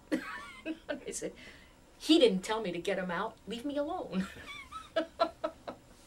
and then our uh, little school bus painted New York Airways came up because we used to pick up passengers from the other terminals and then take them from our aircraft to the other terminals at Kennedy. They pulled up and then so off off we went. And that was that was about as exciting as it got, and it was it was contaminated fuel. When they opened up the tanks, it came out looked like milk. Is that right? Yeah, we uh, and for some reason we had we had refueled at, at Newark, and we never did that. We always refueled at Kennedy. Well, Newark had some bad stuff. So there we are, 25 passenger aircraft, the Boeing, and then uh, the Twin Otter was the 18 passengers, and that didn't last very long. And then we had the then we went into the Sikorsky's the S sixty one L model with the fixed landing gear, not amphibious at all. The Boeing could land in the East River, and it did. It was before I got hired.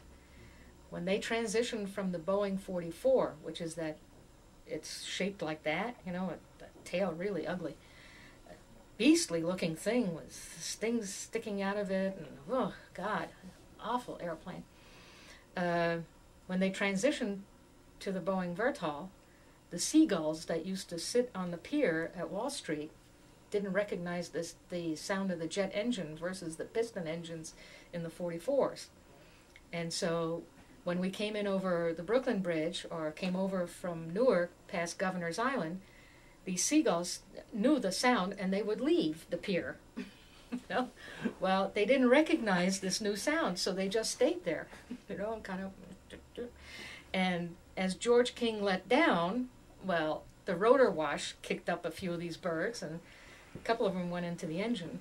But on takeoff, it happened, and he he landed in the East River and taxied up to the Brooklyn Navy Yard, and then passengers were oh. taken off the aircraft, and it was George King and Carol Acock was the stewardess, and I don't know who the co-pilot was, but they they had the three ditchings in the East River. We said he's doing it on purpose to get in the paper.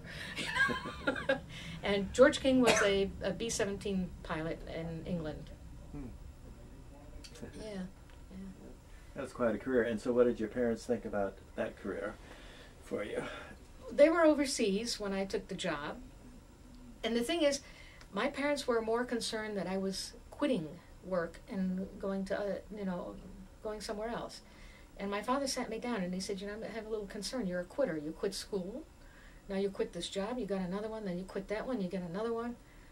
You know, and I said, No, but in America you can do this. you know? it's it's not considered a bad thing. And he said, no, you're going to have a re- you're going to have show your record's going to show that you're a quitter.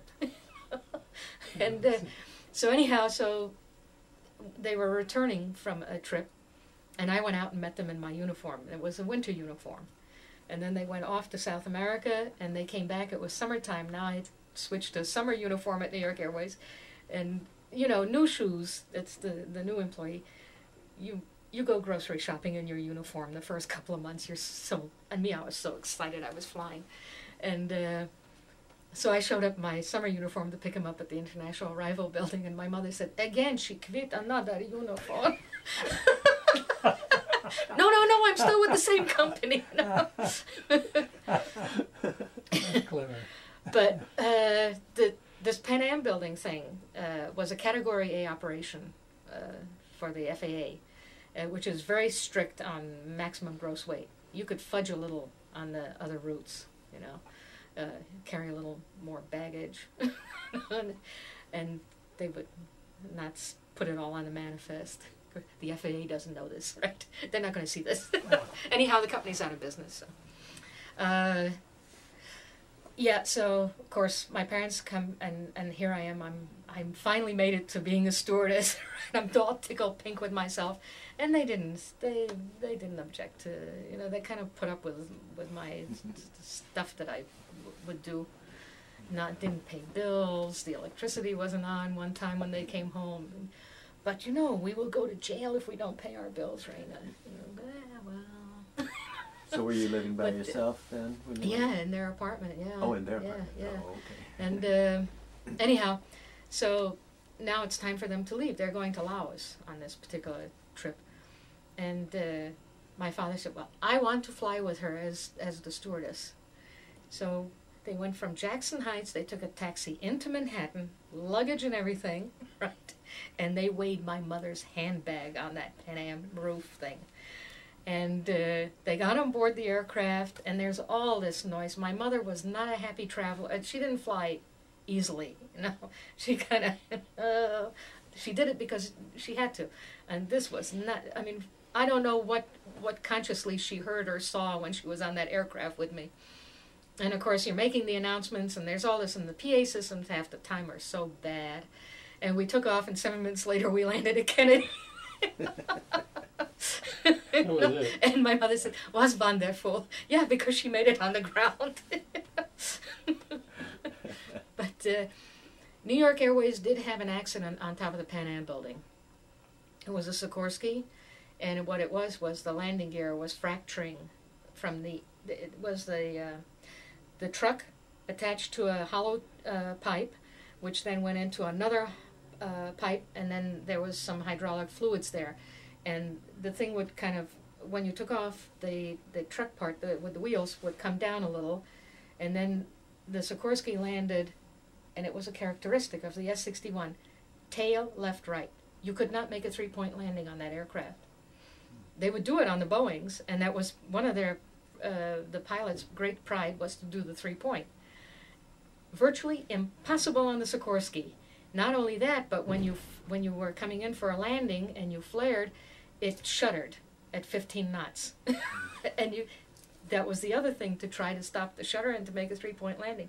And the vice president of operations said, if he comes in fast and, and flares, he gets rid of the shutter. Yeah, and he also touched the tail rotor at LaGuardia and, and smashed it to pieces. Nobody was hurt, but the aircraft stayed where it stopped. Where it landed, it stopped. and this Eileen Mulligan was the stewardess on that one. By then, I was chief stewardess, and I was sitting. Uh, my office was next to the dispatch office, and then, you know, you kind of in the background hear the radio calls, and this little high pitched voice came across. and so we just made a bad one at LaGuardia. and they they got the passengers off and the and the cockpit crew left and they forgot she was cleaning up the cabin, straightening out the seat belts, and they all left. And so she comes out, walks out of the aircraft on the air stair door, and there's nobody around. So she sat down and started to redo her makeup because she said maybe the press is coming, you know, and they'll take pictures of me and interview me.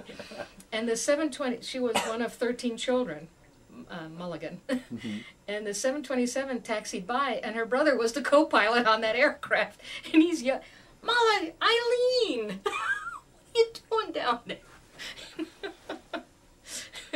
and of course, when the crew called into the VP of operate uh, to the chief pilot, who was in the next office, I said, "Where's Eileen?" And the, the guy said, "Where's Eileen? Rena wants to talk to her." And they went, "Oh, oh Christ, she's back at the aircraft." Like leaving a baby at the redoing her makeup. That's funny. there you are. That's what they thought of us. so anyhow, but on top of the Pan Am building, this thing, uh, these aircraft, at, uh, we didn't fly overnight. Eleven o'clock at night, all the aircraft were back in the hangar, and then at five, five, five thirty in the morning, things started uh, moving. And uh, what they did uh, overnight, the maintenance crew was on, of course, all night long and they had sonar and they had X-ray, and they they sonared the the blades, and any other uh, critical parts of the aircraft or X-ray X-rayed it, but this tube was fracturing from the inside out, so nothing was picked up. This was metal fatigue and, and, and was failing, and you could see the last thirteen landings on it, and it was thirteen, and when the pilots, of course, you you fly into the Pan Am building, you're flying always choosing to go as the wind comes towards you, even though it's a helicopter. But most of the, most of the time, we came in over the UN building and then flared and then landed on top of the roof and then circled around. And there was uh, glued to the rooftop was a red carpet. And the, pr- another point of pride with the captains who sat on the right seat, by the way, in ours, uh, and that was the side that the air stair door was on was when the air stair door opened that it was lined up directly with the red carpet. but the yeah, so uh, it was Captain Lee Richmond. He landed and he taxied around, lined up beautifully. They offloaded 25 passengers, and then we loaded four people at a time onto the helicopter on the roof because the first time we boarded passengers and let them all out of the ready room at the same time, they of course got you know they were standing and waiting to climb on on the aircraft and a few of them stepped aside and went over to the edge of the roof and took pictures of Manhattan in the rotor wash and all this other stuff. So we we didn't want them doing that. So they dis- decided four at a time and get them on four at a time. And Lanny Chevalier was the stewardess at the time, and she had boarded, uh, I want to say four, four or five people or something, and with this, the gear uh, collapsed, the aircraft tilted to the right, the blade hits the roof, one blade disconnects from the rotor head, goes over the side of the edge of the Pan Am building, goes into an office uh, where the guy had just stood up to go change to some baseball uniform that he's going to go play baseball. And that part of the blade broke off, and pieces of it, uh, one piece embedded into 42nd Street into the tarmac through the trunk of a Cadillac car. Hmm. Went through the trunk and embedded itself a couple of feet into the tarmac. Some other pieces went up uh, up Park Avenue and over to Madison Avenue and landed one into a woman's leg and another piece into a woman's head. And of course, she was killed instantaneously. And on top of the building, when the blade, of course, the passengers are coming, and this thing went right into them. And the first two could not be identified as man, woman, or what. And the co-pilot, I don't know his name because he was very junior. Uh, he was a medevac pilot in Vietnam. He was one of the last four New York Airways hired. And he said he, what he saw on that rooftop, he never even saw in Vietnam. It was just awful. And little, the, the people on the aircraft themselves were safe. And of course, Lanny said she felt that the aircraft was being pulled. And she said, we might be teetering on the edge because she is now standing on what should be the wall and she's looking up there through a window that should have been over over there you know? And um, and the and the door to the cockpit was on a sliding uh, thing and it, it just slid closed when the thing went over to its side even though it had so much dirt in it we we couldn't close it ourselves. And uh, the first thing she saw was a cargo agent he had climbed up and, and uh, was opening up the emergency exit window and the back door of the aircraft and then the co-pilot walked across and uh, stuck his head in. And he said, "Everyone okay here?" And she said, "Yes, everything's fine." And he said, "Well, bringing a baggage bin over, and then we can get the people to climb out through the back door." And that's how they got off. And Lanny came around, and well, we had little first aid kits. They were about this big. One in the cockpit, one in the cab. The cabin one was a little bit bigger. The cockpit one so big in the cabin. She said it was gone in seconds. You know, and there was a doctor down in the copter club. There's a restaurant bar downstairs, and so he came up and it was a mess. And then uh, we voluntarily cancel, uh, canceled the rest of our flying until they could investigate what had happened. And that was on a, a Tuesday, I think, the accident. And on uh, by Saturday, we were, the FAA said we could go again. So Yeah. the people on the roof, two were killed, and were others injured? They were injured, yeah, a lot of injured. I mean, one guy, phew, he got the blade through the side here, hmm. but he lived. Hmm. And we were on the front page of the Daily News, New York Times, and whatever other paper was in New York for four days. My parents were in Bangkok at the time, and the moment anything, any accident happened in New York, I was wired. Not, not on the, not on the aircraft. I'm okay, you know. But they said we even got the news in Bangkok. You know, this is. Uh, It's a big deal. 1977. You don't you don't have CNN and all this other No. uh, stuff, you know. No, they're not. Are they flying now at all? No, they airports? they went on a bit. A second accident occurred. same captain, same stewardess, same flight number. Would have been the same time of day, except we were on standard time. The first accident and daylight savings the second, and it was at Newark Airport, and that one finished us. That we couldn't couldn't tolerate it. The publicity nor the, the expense of all over the country, in all the other cities as well. Well, uh, LA Airways had gone out of business already long Oh. ago. They had all the, these rotor heads failure on the.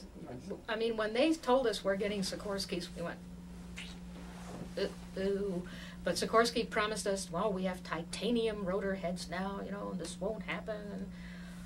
Ah, my maiden voyage on this thing was uh, two guys came on board and they said, So this is the maiden voyage, huh? And I said, Yeah, welcome aboard. Everything's brand new, you know, it's all so clean and lovely.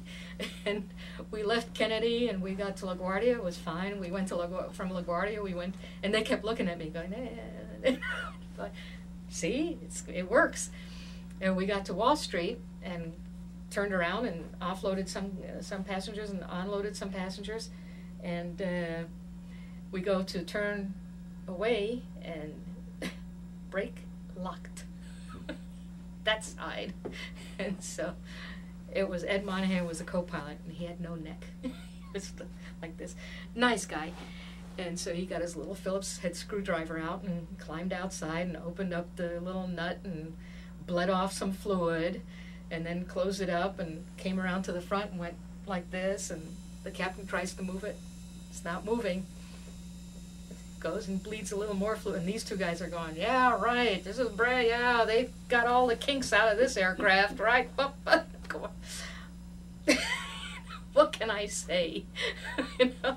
And about the third time when he bled enough fluid off, the, the, the wheel started to, the brake released, and we, we went on to Newark. But I said, this is not good. Oh, but we, we flew for a couple of years with those things. But they, you know, the Boeing Vertol flew like, uh, like a little sports car. It was wonderful. And the, uh, the Sikorsky 61 flew like a truck. It had a very uh, uh, tall profile on, on the side of it.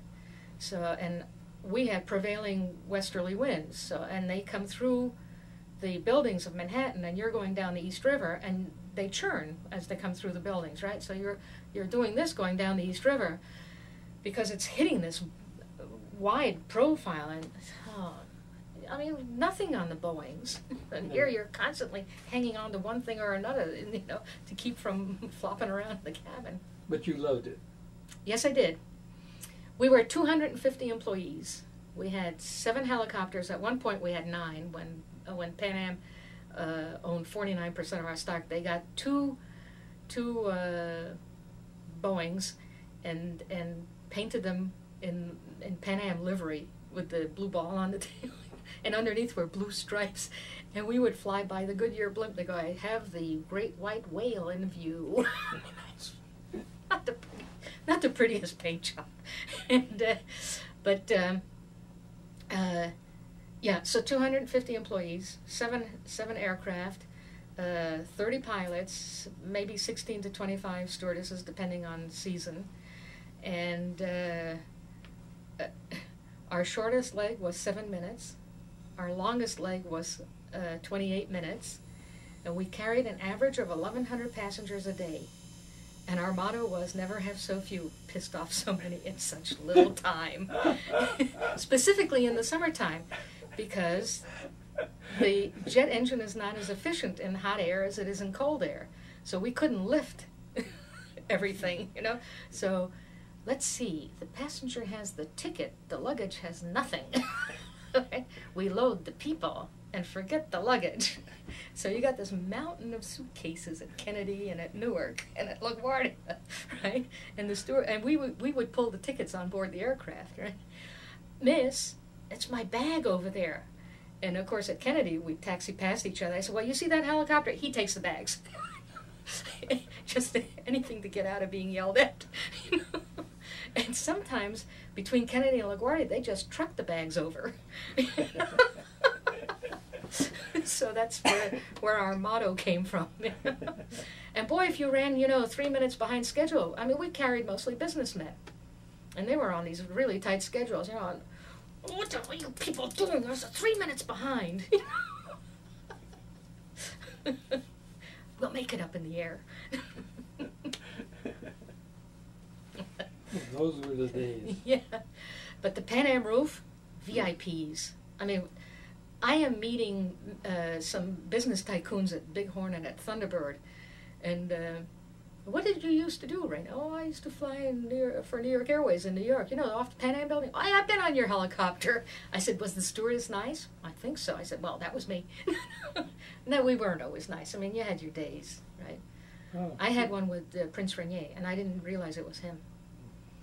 Off the Pan Am building. They're supposed to tell you when the VIP comes on board because sometimes you, you know, you're back and forth all day long, and uh, you know, you know, your brain dead. And the first one to get on is this little roly-poly, fairly nice-looking man, right? And he sits in the Boeing on the first double seat, which is a, a, adjacent to the emergency exit door, with a big placard: "Do not put luggage in this area." And there's a little area there. It's a little more foot room than the other seats, and everybody puts his stinking luggage there, in spite of the placard. And so we have this built into us. Oh God, right? So he gets on, and then the three others get on, and now I have a little gap before the next four come. And I am not, Rena was not having a good day that day altogether. And so I bent down, I said, Sir, the baggage underneath the seat, please. Good. Uh, we always had our hands up at the door because the door was short, and so you tap their heads so they they would duck and not hit the this metal door. And uh, so we had, had good evening, good evening, good evening. Guy hasn't moved a muscle. So these four get on and bag under the seat. No, please, no, thank you. and good evening, good evening, good evening. And I look at him, and he's looking at me like, "Who the hell are you?" And I'm looking at him like, "Who the hell are you?" Now I've had enough. I've asked you twice, right? Nobody's behind him, so I grab his Louis Vuitton luggage and throw it on the floor behind his seat and then kick it. Well, there's a little pouch under the seat that holds the life vest. So when you shove a bag under, it's I have the distinction of goosing Prince Rainier with a suitcase with his Louis Vuitton luggage. I still don't know who this guy is, right? And he gives me now. He's really looking at me like, mm, mm, mm, right? So we board now. 25 people, off we go. We're going to do the sightseeing announcement. We go over to Kennedy, and we land, and we we landed on a taxiway, and we're taxiing into the Pan Am terminal, and there's a big old limousine and police cars and lights, and, boo, boo, boo. and I'm going, well, Pan Am must have a VIP, you know, on board one of their aircraft. And at Kennedy, we refuel, so we shut down when when he pulls up to his spot. They start turning engines off, and you know the blades start slowing down, and they're applying the brake and all this. And then the door opens, and there's Marv, the cargo agent. Where's the prince? And I'm looking at the car, and I recognize Grace Kelly like that. And I went, oh dear, oh dear, Your Highness, if you go to the car, I shall be happy to bring your luggage to you. And I said, I'm dead. My flying career is over. Uh, he could have cared less. I was a little nobody. Yeah. Where's the prince? Okay, let's take another break. I gotta change change tapes. Get you a sip of water.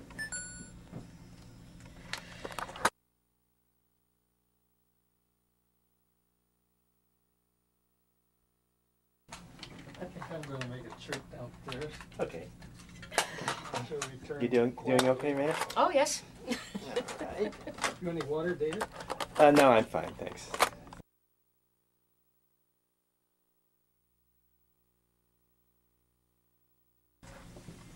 Yeah, yeah, yeah.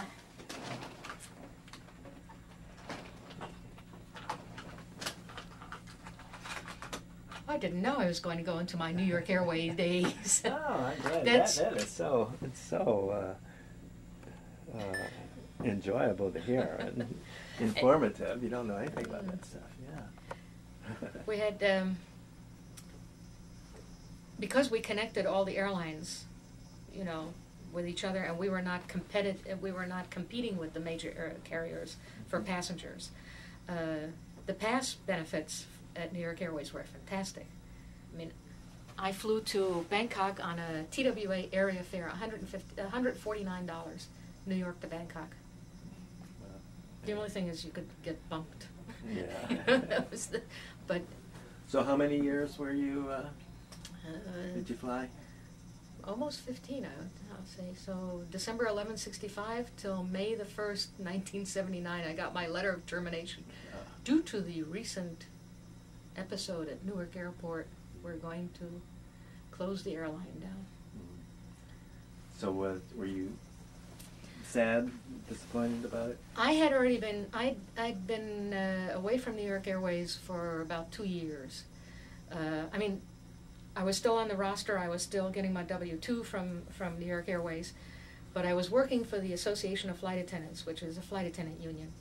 And at that in the seventies, it was the largest flight attendant union in the world. We rep twenty five different carriers, from Aloha Airlines to United, and Little New York Airways Council. Twenty one was in there, sixteen votes for, and uh, they. Um, AFA was an offshoot of the Airline Pilots Association Steward and Stewardess Division.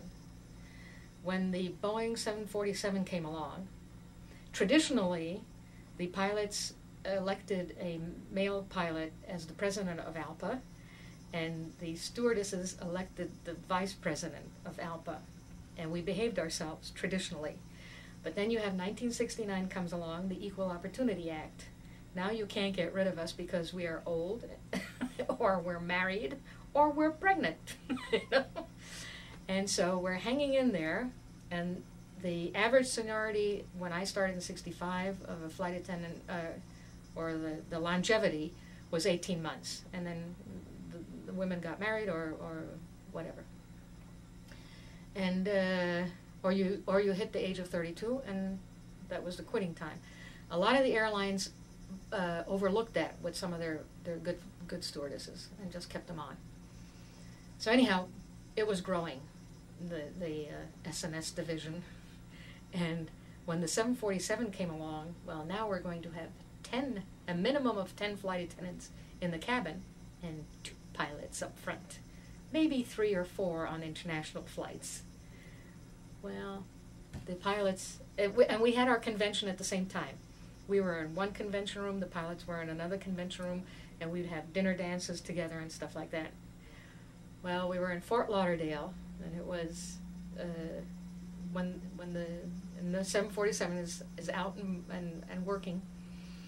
And these pilots came to us and they said, "Well, now you know what, ladies. We think you should go autonomous of ALPA." Well, we can't afford it. We don't make as much money as you guys, and we can't afford to have a research department and all this other stuff.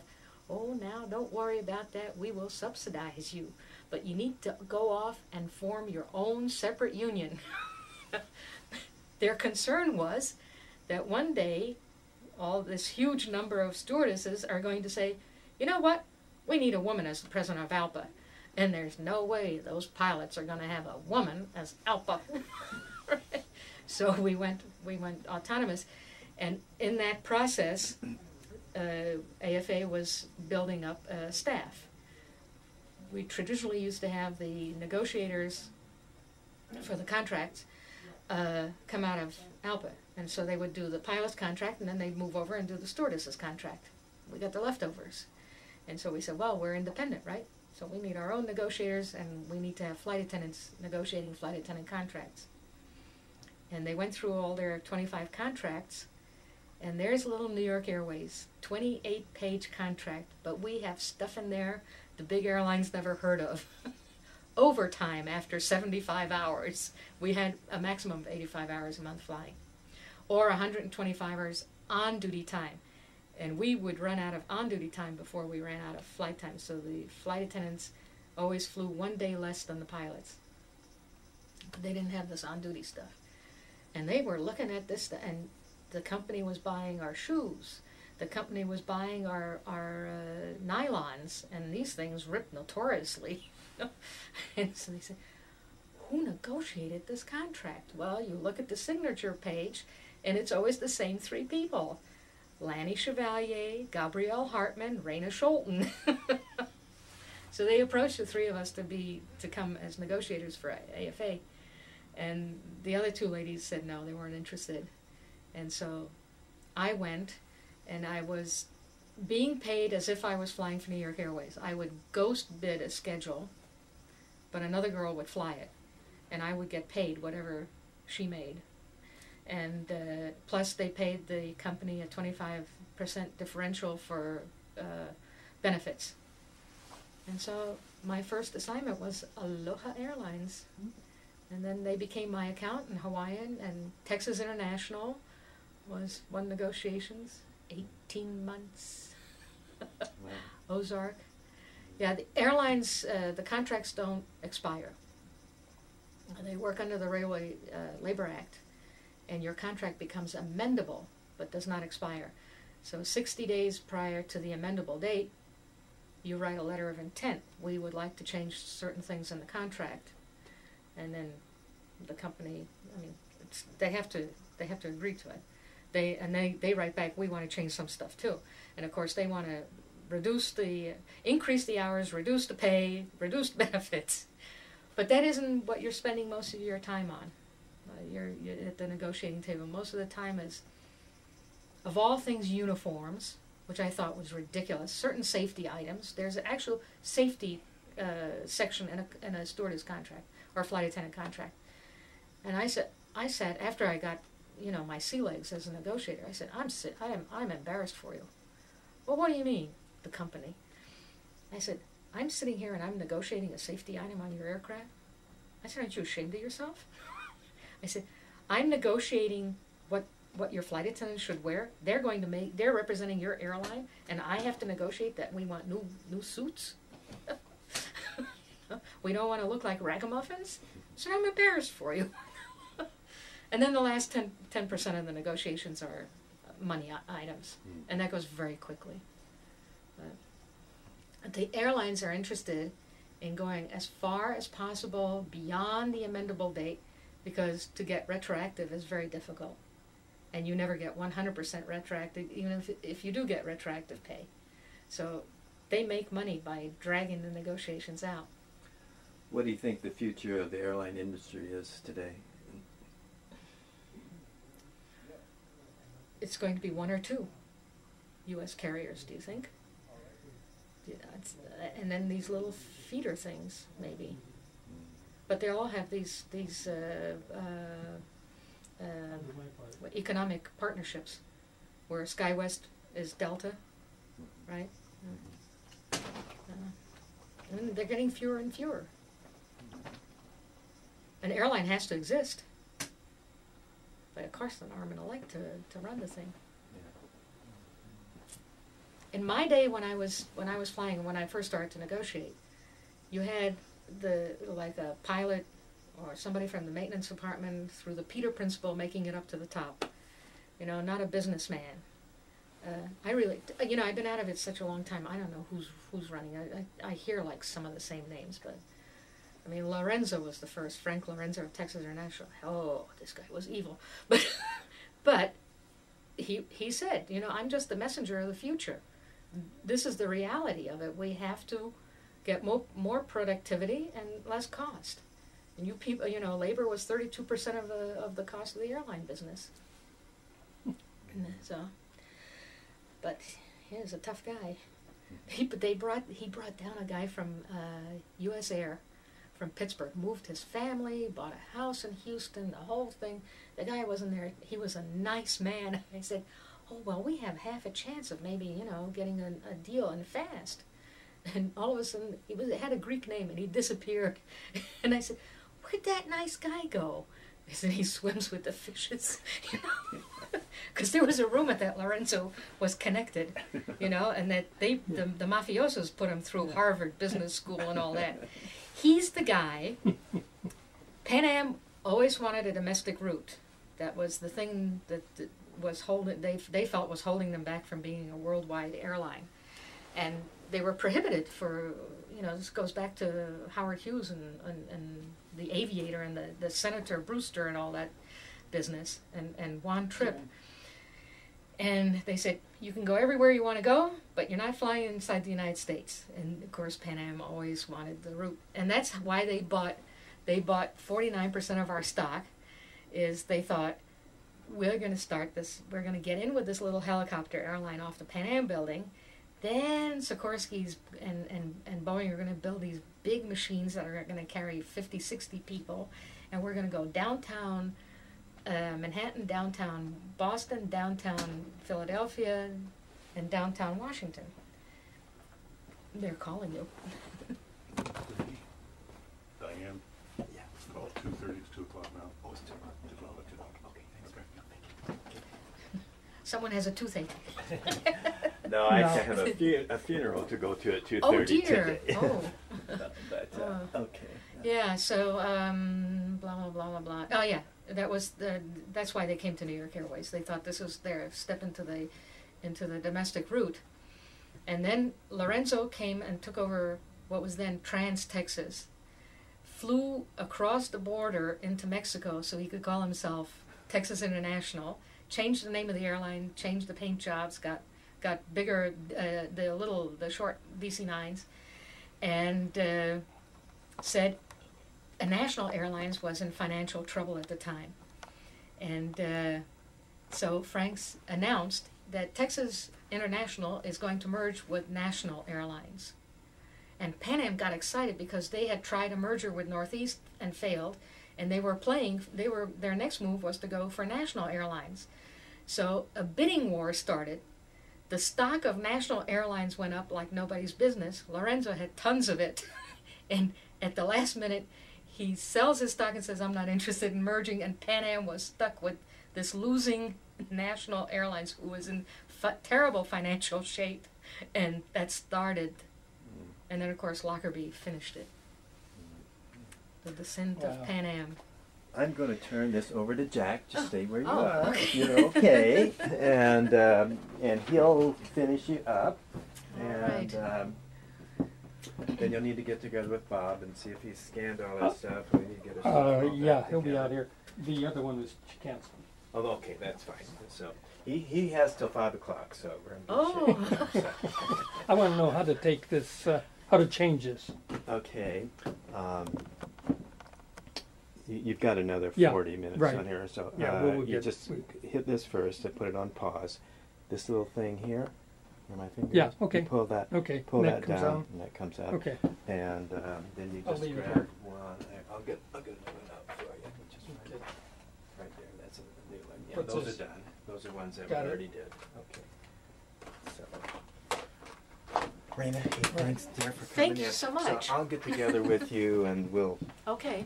All right. Okay, right. so you- I got a job. yeah, I think you do. and I'll have a DVD, DVD for you and think about it. I can make more for you. Just let me know how Oh, many you might want thank for you. friends and, and Thank you. family and stuff like that. And I'll just I'll just leave this all here, Jack. okay. So We'll handle it from here and take off. okay, let me grab my. Where did you? Uh, how did you? How far did we get? Well, she's taught. Yeah, she she became a negotiator after her Ah. flying days. So we were just talking about. That's what we were just talking Okay. about. Around what 1980 or 1970? 1977, I went with the Association of Flight Attendants as a staff negotiator, and they were uh, the biggest flight attendant union in the world at the Yes. time. Is that right? Yeah, we had 25 airlines from Aloha to United. In your particular job?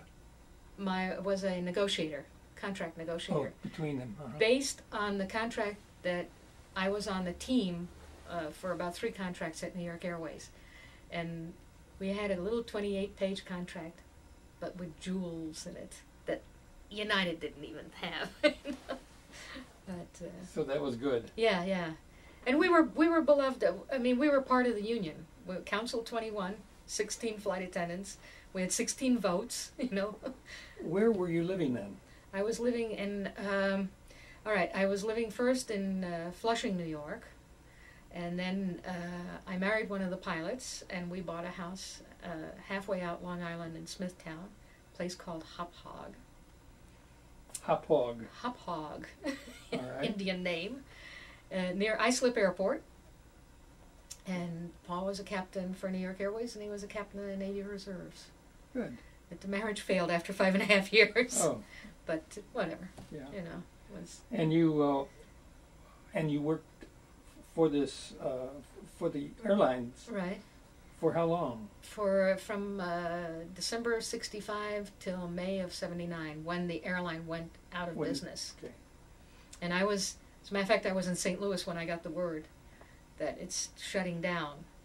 And so on my next break from the negotiations with Ozark, I went back to New York to say goodbye to my airplanes, my helicopters. Well, you still had plenty of years yet for a career. Oh yes, yes, yes. So I stayed with the Association of Flight Attendants until 1983, and then started uh, the mergings of the airlines and all this, and and uh, we were on a austerity program at AFA, and so the junior negotiator, no matter how good you did, your it all went by seniority. So I was furloughed in '83, and Furloughed meaning, uh, laid off, laid off, but with potential of being called back, and um, nothing, nothing, nothing. I collected unemployment for about eighteen months, and California did not object because the unemployment was being paid by Washington D.C., where the headquarters of the union is located now you were living then in, in Hermosa Beach. when did you move, uh, All right. why did, let me ask you this. Excuse me. Why did you, uh, how did you come and why yeah. to California? Okay, and in, uh, when I joined, when AFA picked me up as a negotiator, uh, my first assignment was Aloha Airline. I mean Hawaiian Airlines in Honolulu. You go to where the airline headquarters is. So I spent four months negotiating that contract, and it was my first one. And AFA had promised me that I was going to get training at the George Meany Training Center, that I was going to go with another negotiator and get experience watching the other negotiator. And that was promised me in July of 77. And on September 3rd, 77, they called me up and said, Get ready, you're going to Honolulu. And I said, Training, wing it. Don't worry about it, you have a talent for it. But no. I must have training. You know, I have this German background. I need a manual. I need, you know, to study, and then I do it. You know, no, wing it. So I went out there, and the morning, uh, the first morning of the negotiations, when you're meeting the company committee. Now you've already worked with the, with your own. There are always three flight attendants who volunteer to come onto these committees. It's a non-pay thing. Uh, they get paid some expenses. That's about it but uh, they make the decisions. You're simply the mouthpiece because they cannot bite the hand that feeds them. And I can say all sorts of nice, you know, Sure. ugly things to the company, and Sure. no reprimand on my people. Good guy, bad guy. Yeah, yeah.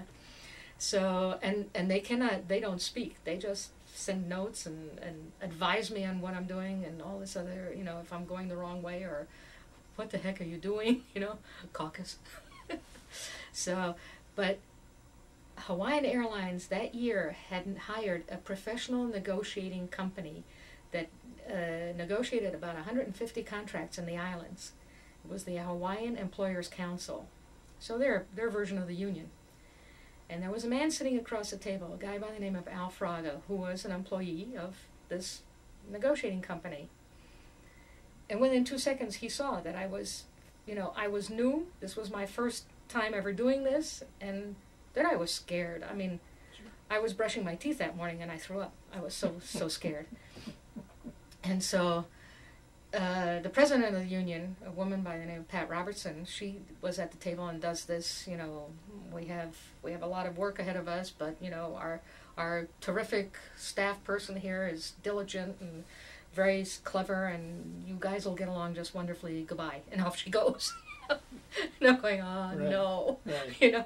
Now, first of all, I have to bluff, uh, not necessarily bluff, but I have to show uh, some fortitude in front of my team because they're relying on me to get things for them, you know. And then I have to try to cover up that this guy doesn't realize that I don't know what the heck I'm doing. But he did realize it. And his he had a choice. He's he's either going to eat me uh, chew me up and eat me out and spit me out and they're going to send somebody else. Or he can very cleverly walk me through all the palaver of negotiations, the rituals, why timing is important when you caucus, you know, why this is important, why that's important, what you're signaling. And the guy did this in such a kind, gentle way that I actually learned how to do my, my job through him. Is that right? And then I went on to my when I went on to other contracts, uh, they thought, well, she's wonderful. You Isn't know? And of course, I got back to Washington. They said, "You see, we told you, wing it. You did it." I said, "You Did- fools." Did you ever tell this gentleman? Of course. Yeah. Not not after that initial negotiation because we had other ones to come, but we have uh, when you reach a deal. Uh, of course, we're the underlings. The guys who say yes, this is, a, Sure. is an okay contract or not are the presidents of the union and the president of the airline, and, uh, and more rituals, and then the Sure. signing uh, thing, and then the dinner following. And the president of Hawaiian Airlines at that time, a guy by the name of Magoon, had, was a member of the Honolulu uh, Country Club, and so that's where the dinner was. And there was a, I went out to the bathroom at one point, and came back out in the hallway, and there is this guy Al Fraga, and there's a pineapple worker union man talking with him, and he, and he looked at me, and, oh, and Fraga said, "Oh, this is Rena. She's from the flight attendants union, you know." And he said, "This is the greatest guy," and I said, "Yes, he is. you know, he's wonderful." but uh, Did you ever have a chance to see him after that? I saw, yeah, I saw him uh, two years later when the contract became amendable for Hawaiian. So we sat at the table again. Only he was letting his junior man get more and more. Sure. The the first negotiations, Bob was the scribe, and now he was actually doing a lot of the talking. It's amazing when you're in a particular area what you can say to a young Yeah, uh, yeah, somebody yeah, coming up that makes all the difference in the world. Oh, absolutely. I mean, for the next eight years, I, it was easy. There Did was you no- then help some of the new people come along? What happened was? No, I, I was furloughed, and then Oh, yeah. nothing, nothing, nothing, and then they uh, the unemployment went out after eighteen months, and uh, even though I sent out resumes, there was no reaction, and by then I was pretty much no, I could give up all this flying around all the time and living in hotel rooms because that's all you do, and uh, so a friend of mine was a dog groomer in Hermos in Hermosa Beach. The front part of her store was a couple of bags of dog food and some leashes, and it was dusty and dirty and nasty. And I used to take my my Yorkie, my two little Yorkie dogs, to be groomed by Bonnie. And so we were talking one day, she said, "So, what are you retired now?" And I said, "Yeah, I'm not doing anything." And I was looking around the shop, and I said, "You know, Bonnie, this shop really looks crappy up front." And she said, "Well, do something about it." And I said, "Hey, why don't I do retail in the front part? You know, I'll remodel the store, just dog and cat supplies. That's all, and kind of, you know, and I'll we'll go in business because she was the draw. She was a champion dog groomer, and there were these dogs coming from Manhattan Beach and all over the place, you know, and we didn't realize how much money there was going to be in the animal business. Yeah. What it is today is unbelievable. is. and I was way ahead, you know, with the little uh, T-shirts for the dog. Anything, the more human you could make it look, the more they bought it. And I had a good distributor who helped me put the shelves up and told me what pro- how to place the products. You put the chewy stuff at the bottom, so when the dog walks in, he grabs it, and then the guy has to pay seventy nine cents. so I did that for a few years, and then uh, I I messed around Now, with. The, you were in, uh, when I first came in here and now, you were in Hawaii. Oh, okay. And then you came back to, well, oh, so I'm you saying. were laid off where? Yeah, From uh, uh, no, from Hermosa Beach because, or I'm sorry, I, I went way ahead of myself. So 77 September, I'm in Hawaii with the first negotiations, Right. and I'm being trained by the by the company rep, Mhm. and then, uh, Jan- so the contract uh, finished, and they voted they voted it in the flight attendants, uh, 98 percent. Wow. So it flew, and then uh, I came back to Washington, D.C. to debrief. And then they said, Aloha wants you. They requested you. Hawaiian has ta- uh, the flight attendants of Hawaiian said they love Rena. so the Aloha Good. flight attendants uh, requested me, and I went back to Hawaii.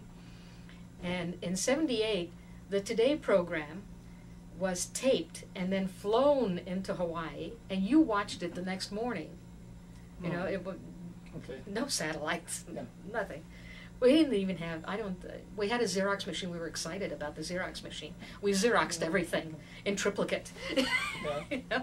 And uh, so I'm sitting in, and it was uh, February or March, '78, and I'm sitting and I'm watching the Today Show as I'm getting ready to go to work, and there's a snowstorm blizzard in New York like nobody's business, and I said, "Well, I'm going to be living out of a suitcase from now on." You know so why why should i go back to new york? And at a restaurant in honolulu one evening when i was having dinner by myself at the table next to me there were some united stewardesses and they were talking you know and and the one girl noticed that i was eavesdropping and she said we're with united airlines. My name is carol. What's your name? And i said my name is Rena, and i'm with the association of flight attendants. Oh well that's our union. We own it because they were the biggest group And they said, "Come on over and have coffee." And we, I made friends with these stewardesses. So whenever they flew into Honolulu, I had somebody to have dinner with and stuff like that. And they were all LA based. And they said, "Don't go back to New York. Move out here." You know? So when I finished with Aloha, that was May or June. And again, the same procedure back to Washington debrief. Okay. And then there was a gap of what my next assignment would be. And uh, so I just got Bekins movers, and they moved most of my stuff, and I packed up the rest of it in my 1977 Monte Carlo. I had enough room for me to sit in the car. It was loaded to the gunnels, and drove across the United States. On 66? In the 78, 1978. On Route 66. Oh no no no! yeah, yeah, I should have. I should have, you know. Uh, but no, I took the major the major highways, and um, uh, I was in. Where did I stop one time? I think I, was it the first night in Pittsburgh or something, or Indiana or someplace. I stopped, and I checked in with AFA. You know the what's what's up for me, and they said where are you? I said, well, I'm in Indiana. They said, drop down to St. Louis and go over to the field office and meet with the Ozark Airline flight attendant, uh, master executive council, we called them. Th- They're like the local reps.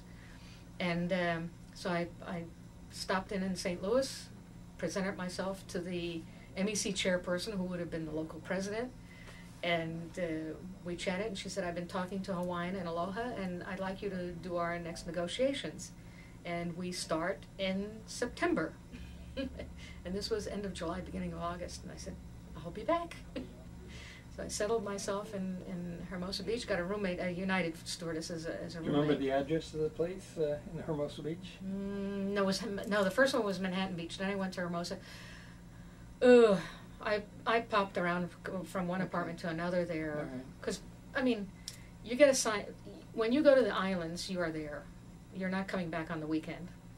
So I put things in storage and then just you know whatever fit in the Oh. suitcase went with me. I. And I lived in the hotel for four or five months, and then I'd come back and and um yeah. So mostly I hung around with United flight attendants. They were always looking for roommates and things like that. And then went off to Ozark, and did I did come back on a couple of weekends, you know, because I had an apartment and so I came to visit my things to take a break, and um, Yeah, right. and then just kind of you know And you went then to Ozark. Ozark, Out of, uh, living. Pardon? out of Little Rock? Uh, no, Ozark was St. Louis. Oh, St. Louis. St. Louis, Missouri was their home Oh, base. right. They called it the fort. They had these little slit windows because tornadoes. and I lived at the Best Western on I 75 for, I think it was 11 months. Uh, that contract took 11 months. And then how, you just went from and then, contract yes, to contract. you finish one contract, you debrief, and all of a sudden, you need to go to Texas. you need to go to Texas International, Well, you know? And then in between, there are things like, uh, oh God, Braniff. Har- Lawrence Harding, this guy, was the president and the CEO of Braniff. He was a drunk. No Hmm. points, no, no two ways. He's dead now, so no problems in talking about him. But um, they went, they went through ALPA staff, the, the, the reps from the Airline Pilots Association. Then they went through a couple of staff from AFA, you know, us flight attendant kind.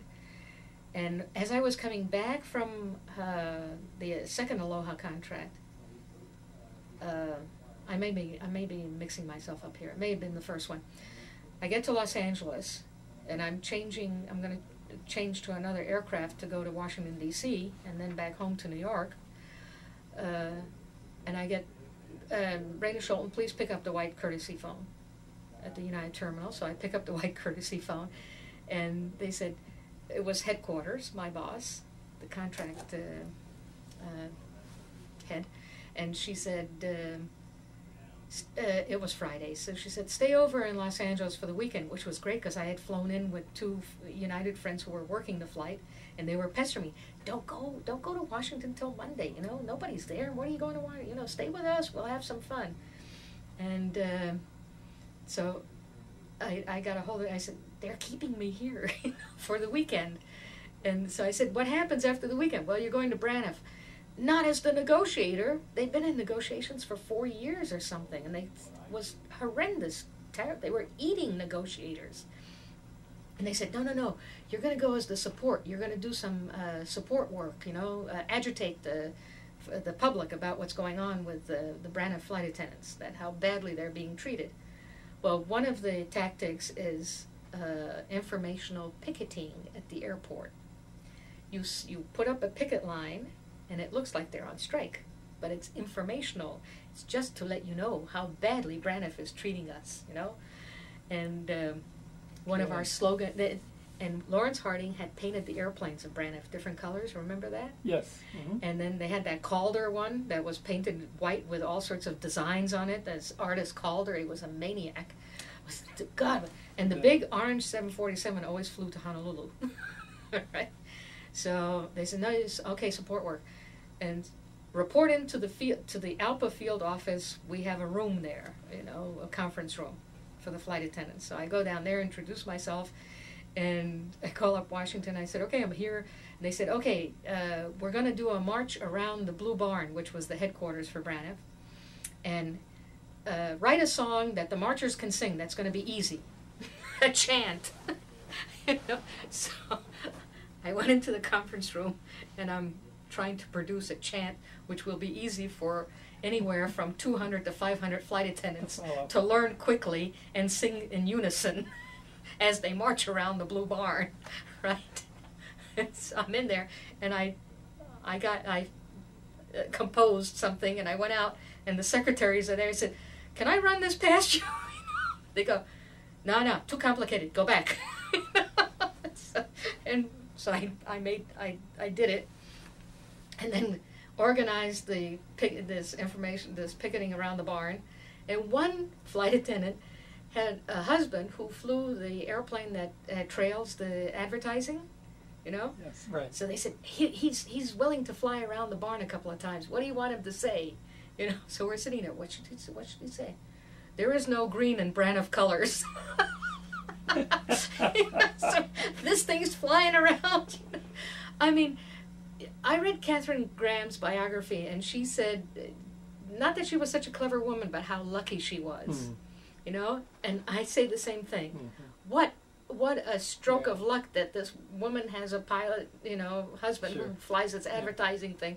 AFA said, "How'd you do that, Sholton? What does it cost us?" "It's not going to cost us anything. Don't worry about it." Well, now, uh, Rennie, uh, do you remember how that chant went? No.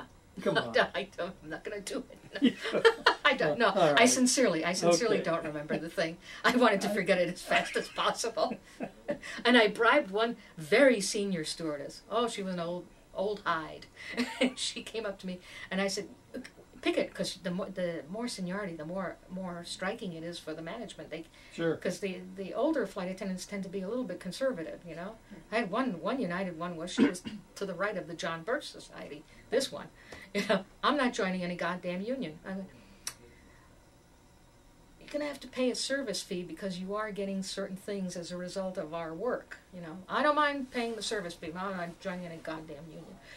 And I got her to picket in front of United once. and go- and the, the supervisors came out of the terminal and I go, Mamie? Mamie Brenneman? Is that you right? know? And they go, oh my God, this union must be something. That's amazing, uh, that, that uh, career. How long then did you go on representing the various I did uh, seven, seven to eight years. I did negotiations. seven to eight years? Yeah, and mostly it was always the same group. I, it, they were like my accounts. That was the Texas International, the Ozark, Hawaiian Airlines, Aloha, and then I did one, a couple of side letter of agreements with other carriers, and I cleaned up one, one. It, the contract wasn't bad, but the staff negotiator had been so exhausted on what we call the road shows, explaining what they had gotten in the contract that the flight attendants took it as a signal that she wanted them to vote it down so she could go back get, and get more.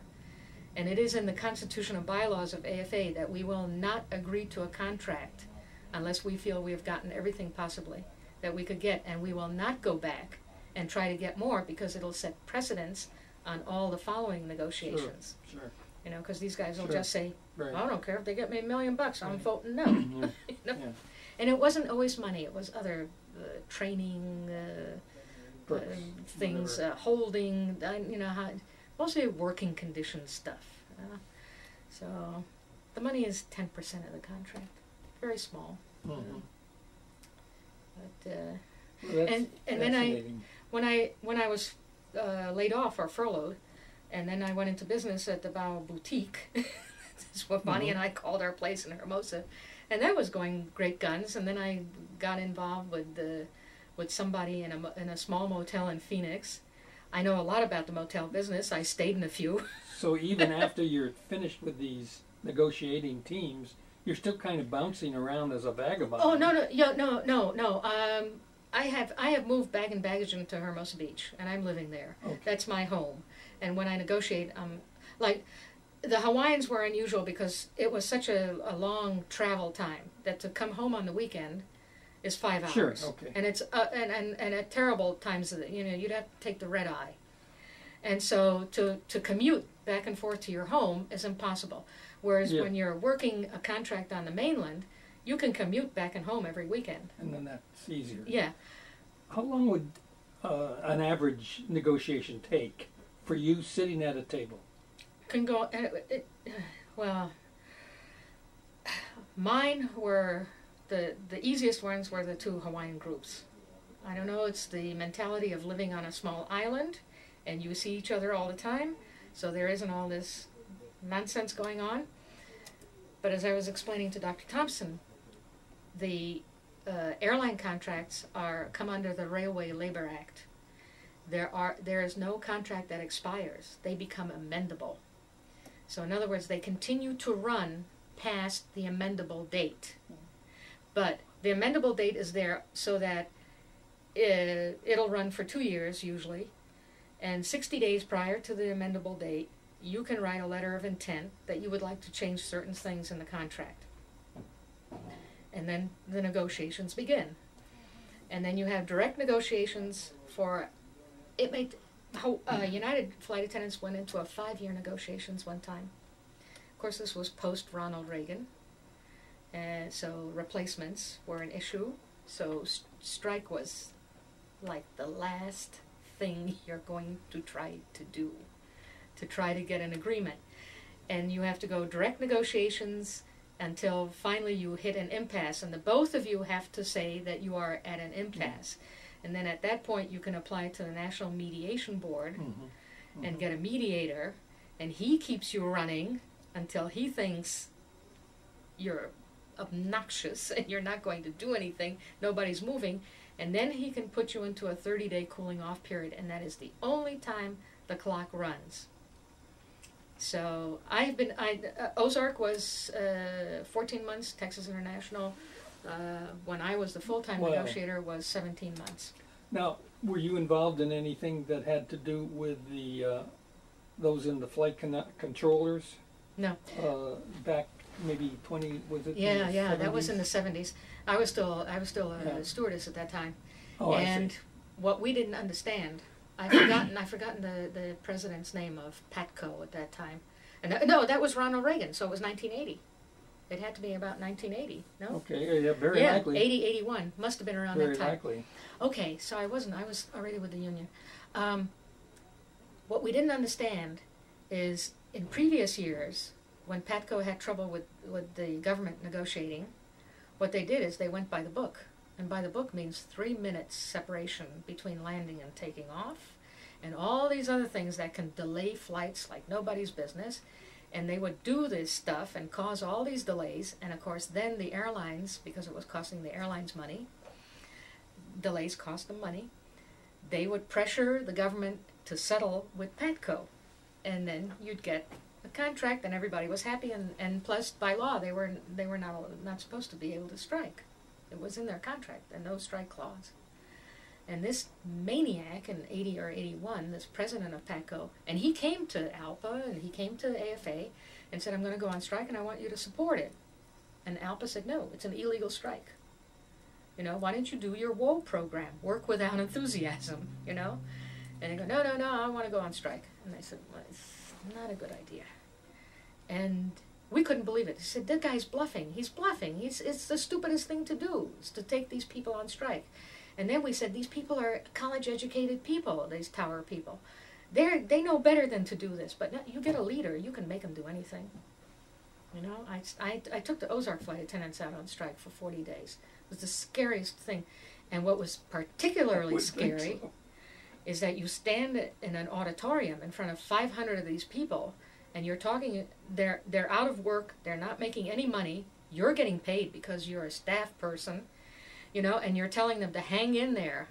We're going to win you know and they're and they're going okay divorces are in process because some of them are married to management. Pilots are angry at them because the pilots are sympathetic to the flight attendants and you know and you're and you just say certain words and they go with you and they love you and they go Rena we're behind you. And I go oh my god you know? Anyway we were successful. Was the la- first and last successful strike at Ozark. And then and then this Patco thing happened. And uh, I mean when when I came to uh, when when I got the news you know that this guy had done this at 5:30 in the morning we sat there. It, this is crazy. The military's going to come in and man the towers you know? We're not going to stop flying. Yeah. And uh, they said- never and that never was resolved. no and then Reagan came up with this famous word replacements. Yeah. and so they sued and said no you can't make you can't put in replacements. Well excuse me it's a Republican government and, and all the courts are going yes he can. And we turned around and said well there goes our last weapon. You know we're going to be at the table a long time. And I, I mean I, I totally did I, I was on Reagan's side on that one. Mhm. And I voted for the man too I mean we had such Mhm. craziness just by, before him Yeah. you know so at least he brought dignity and, and, and, and pride in the yeah. country That was a tough one. I had some good friends who were tower people who yeah, uh, yeah, were laid off. yeah, never came back. yeah yeah Never did come back. oh it was. Uh, let me uh, just go back and uh, pick up something that uh, your parents were still living and Mhm. traveling Mhm. between New York and the various places while you were a stewardess. and even after when you got into negotiations, Right. uh, what did they have to think about what you were doing at this particular point in time? Uh, okay. At some point, uh, these contracts that my father is getting, he did work for USAID. Oh, and and he did work for other governments. I mean, he worked for the Thai government to try to uh, improve the productivity of the Thai Thai farmer, and uh, he worked for other cons- consulting. He had a consulting company, but he would, you know, work for other folks, and so it became uh, in 1960, about 64, 65, they decided that they should base themselves in, in Bangkok, Thailand that this was he had a very uh, long three or four year contract uh, a three year contract with USAID in, in, in Thailand. And so he said well we might as well just settle down here in Thailand. And then they loved it so much because they were small. My parents were not the big normal sized American of the 60s you in know? stature. yeah in stature. And uh, so my mother said the Thais they like us because we are little like them. You know? And they just they my father always loved uh, travel. I mean even even as a boy he and his mother loved to travel. His twin brother and his father were not such great travelers. But anyhow so they were based in bangkok and uh, uh, working for new york airways. Since we were not a competitor of any airline we actually brought passengers to them. We had pass privileges that far exceeded any other group in the in the industry well, we had we had past deals with China Airlines, you know, Wow. and everybody gave us sure. a, a freebie. You know, I could fly around the world on TWA for one hundred and forty nine dollars. Now the only thing was I was flying on standby, which in those days wasn't bad. I mean, No. I, I'd hate to do it today, but um, so I was I was you know I always had one month off every year, vacation, and it, and it grew as my seniority grew. It got to be you know six uh, five weeks, six weeks, seven weeks off. Of course, you'd break it up. You what did you do on these tri- on these times? well, for the one month, I basically would find out where my parents were and go and Visit and visit. and and then were, I made little side trips with my pals. and they were delighted to see you. Yeah, yeah, yeah, yeah. my my mother was funny. They uh, she I was in Thailand. I think I was in Bangkok about three weeks, and she said to me, "Renushka, my heart is heavy for when you are going, but when are you going?" I, said, I can Oh, take a hint. That's great. when I stop flying, of course, this in the helicopter, you're landing and taking off. You're up and down, running up and down the aisle. It's very physical work. And then in the summertime, no air conditioning. It's a flying sauna. You know? I mean, we got up to 115 degrees in the cabin sometimes. And, w- and we only found that out because the union said, We're putting a thermometer up. You people are working under horrendous conditions. You know, we said, Leave us alone. You know, they always kept pestering in on some of the good stuff we were doing. but, well, we got a heat relief stewardess in that negotiations, you know, so they brought in a reserve when you got to, in a 10 hour shift, you got to go off for one hour and sit quietly in the air conditioned terminal. and get paid for it. Yeah, Sure. yeah, yeah. And then you always try to get them to put it up against your lunch hour, you know, so you got like two hours off. and, but they had this one girl, uh, Kathy Collins. Ah, she was a hoot. That one. All for mostly foreigners. Uh, a couple of Amer- uh, born Americans worked for New York Airways because of the language business. And then towards the end, they said, "At the heck with it. Everybody speaks English." Uh, the German girl. And Kathy Collins had relieved me and had relieved the extra section flight attendant, and now she's going to le- relieve Gabrielle, the last one. So she's been going for two hours straight, right? And she's got a sweat going, and you know, getting beginning to look a little frazzled. And Gabrielle, I, I walked out with her. I was going to my helicopter, and here comes Gabrielle's helicopter, and they shut down, and they open up the door, and Gabrielle stands there. I mean, she looked like she came out of a bandbox not a hair out of place. She is not sweating. She's not doing anything. And Kathy says, and I'm relieving her. And she said, she's on those pills that Walter Slezak took on Lifeboat. You remember the movie Lifeboat with Tallulah Bankhead? The, the, the ship gets torpedoed by Germans. And then Slezak is one of the uh, crewmen uh, that worked in the engine room or something.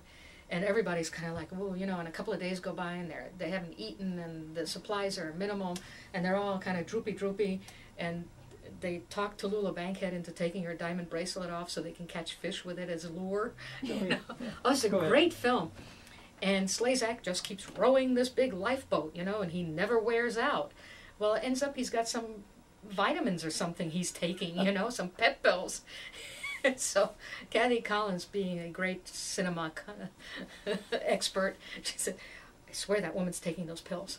Look at her. And I'm relieving her. Look at me. Oh, that's funny.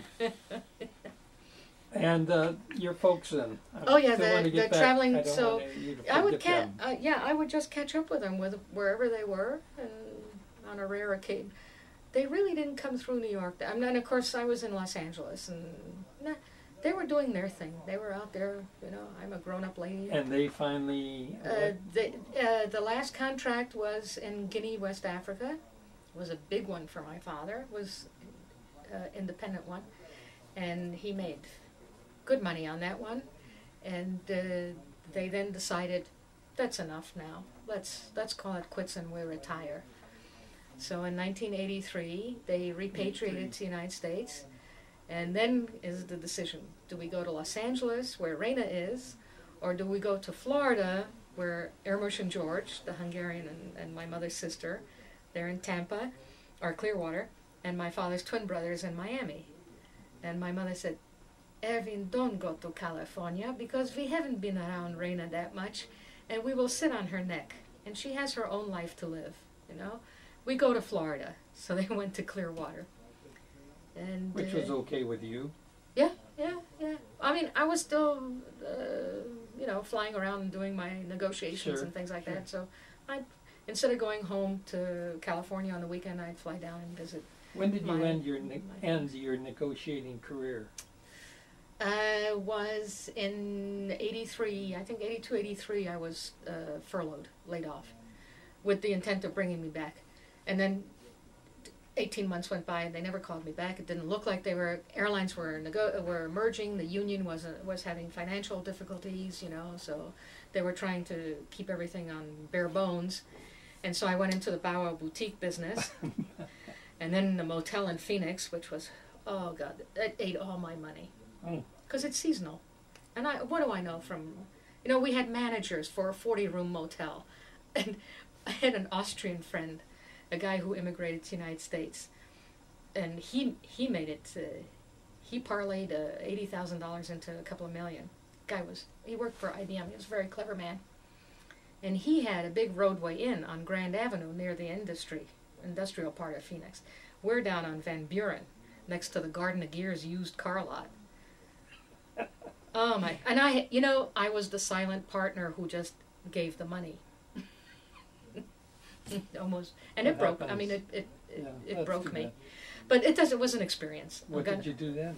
Uh, well, I've got the the boutique, and then Bonnie decides that she's going to retire from dog grooming because we were all now getting into our fifties, right? And uh, and I was rooming. Uh, I was uh, sharing a house with a with a school teacher who was came from a wealthy family, you know, and, and my father was giving me an allowance to keep me going, you know, and stuff like that. So I really didn't have to hustle for work. Yeah. And uh, but then AFA called me up in in 1988, and uh, they had a consulting company come in and said. The problem with the with AFA is that it is from the East Coast out to the Hawaiian Islands, and maybe in the future we'll be go will go global, you know, and your communications with your membership is lacking because you don't have any central point in these areas like on the East Coast and the Midwest and on the West Coast. So what you need are field service representatives, and these people will do troubleshooting training for different committees because these flight attendants uh, are on safety committees, negotiating committees, uniform committees, that everybody participates. Very democratic. So in in reality, the line flight attendant can actually communicate with the president of the union. There's you know through these committees she can have her opinions taken right to the top. So we are the right arm of the president in these areas. And of course, where am I? I'm in California. I'm the West Coast representative, field service rep. Okay. And my and then I started going from uh, Los Angeles to San Diego to Honolulu to Seattle to Portland to uh, Fresno or San Francisco and then Fresno and then back to LA. And I would make this circuit every six weeks. And whatever the airlines in these different cities, there were always several of our carriers were based in these cities, I would service. I mean, if they needed support work for negotiations, I did that. They needed somebody to do training for employees assistance program, which was the drug and alcohol and Hmm. Cracking up flight attendants. you know, Mhm. we could we had ways of assisting them, and uh, and but whoever volunteered for these committees would have to be trained on how to do the job that they were volunteering for. And basically, that's what I did was the training, and I enjoyed that a lot. Did you? Yeah, I did that for two years, and then I must have, you know, I like to joke around, and if I see a joke somewhere, I can't let it lie. I will pick it up and throw it out there. And I made some derogatory remarks about the then president of AFA, you know, which I thought were quite funny. They were terribly, terribly on point, though. And, you know, that is a bit of information, and somebody has that information, they will use it because it gives them a little oomph at that moment, right? And so some of these remarks, I think, went back to the then president, and she called me into her office and said, I can't work with you. And I said, I beg your pardon? I'm doing top notch work. They love me. They love me out in the West, you know? I mean, Raina's, I, I, I just clicked with everybody. And she said, Well, I can't work with you. But I said, I've always said good things about you, Susan. She said, Yes, and you've said some other things too. I can't work with you. I'm terminating you. And of course, we were just starting to form a union within the union, which I thought was was funny. I said, "Oh, this is nuts that we're forming a union inside a union." Yeah, yeah, we're going to need it. I said, "Oh no, that's bogus. You know, it's I don't believe it." And there we go. Off so I that went. ended. What year was that? Uh, Eighty-nine. 89. So I came back to the first time I'd ever been terminated from any Yeah, job. yeah. I mean, it was a shock. And she had done it so well that she had done it on uh, was a, a Monday afternoon or something or a Tuesday afternoon. I had to wait a day for my final checks and expenses to be paid to me. So and so I had to reappear in the office the day after I'd been kicked out. And that was just ugh, awful. But that afternoon when she let me go at 5:30, of course I'm going back to the hotel. And I'm I'm not in my I, I got to my room and I called up room service and I said two vod- two double vodkas and ice and hurry up. and, and the phone starts ringing and it's the council chair people from the West Coast. And they're telling me what the hell went wrong. I mean, so her story was already there. you know, whatever story she had said Yeah. was already there Had done her homework. and the the only the only uh, council person who might have had any political clout was the Seattle-based United Airlines girl, but she had been in union work and then left it, gone back to flying the line, and then returned to it, and she she didn't have the networking yet to to uh, put up some sort of a, a resistance. And she said, it's just, she said, but are you still coming up and doing the training for my grievance team? And I said, who pays? Yeah. you know? And then the, the woman that they hired to replace me, who was from Alaska Airlines, we always had to be a flight attendant. And so, um, to good. work for AFA. That's good. And she called me up about three or four weeks later. She said, "Oh, I just got hired for your job." And she said, "How do you do it? How do you do the job?" And I said, "Suzanne," I said, "I love you, but I said, I can't. I'm not going to do that. This is No crazy. Yeah. This is too cuckoo." Yeah. You know. So, anyhow, I had bunches of uh, uh, uh, uh, what do you call it? mileage plus things Oh, from all this flying that I had done. So I sent my parents uh, a couple of first class tickets, and we met in Seattle, and we toured British Columbia and had a grand old time. And and then I just didn't do anything for a year or so. And then by then, uh, we sold a house in Hermosa Beach, and we said we can't afford to buy a house in Hermosa Beach. You know, eighty nine Sure. Yeah. yeah. right? And so we said, well, let's go to the desert and see what there is there, because we used to come down here for Dinah Shore and stuff. Sure. so we came down here, and bought a place in uh, '98. uh, 89, 88, 80 89. 89. And where'd you buy it? Where- Uh, what- where- Palm Desert Greens. Okay. Yeah. You know, we're getting toward the end of this hour, and uh, probably going to have to go ahead and uh, and change this this tape.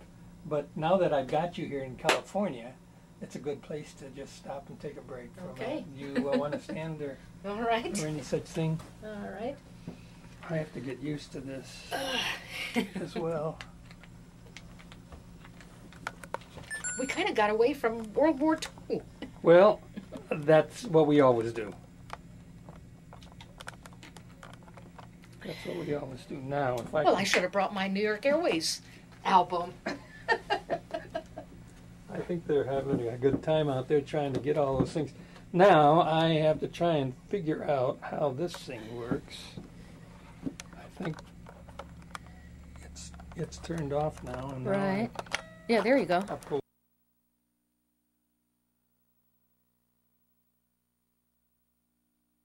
Right, right, right. That makes sense. Clever. Yes, these guys are always clever. How are you doing on time? Oh, I'm. I have nothing today. I was going to check a couple of my houses, but that's about it.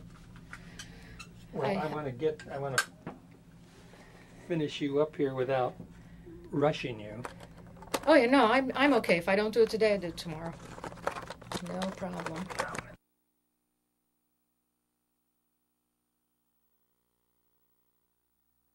Here. Gotta figure out.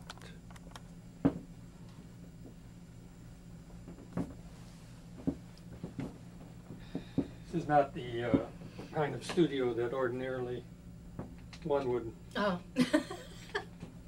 Seems to work, no? It does, you know, it does. yeah. The sound is great, the light is perfect. Yeah, yeah,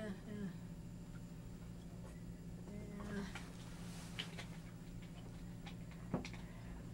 Okay.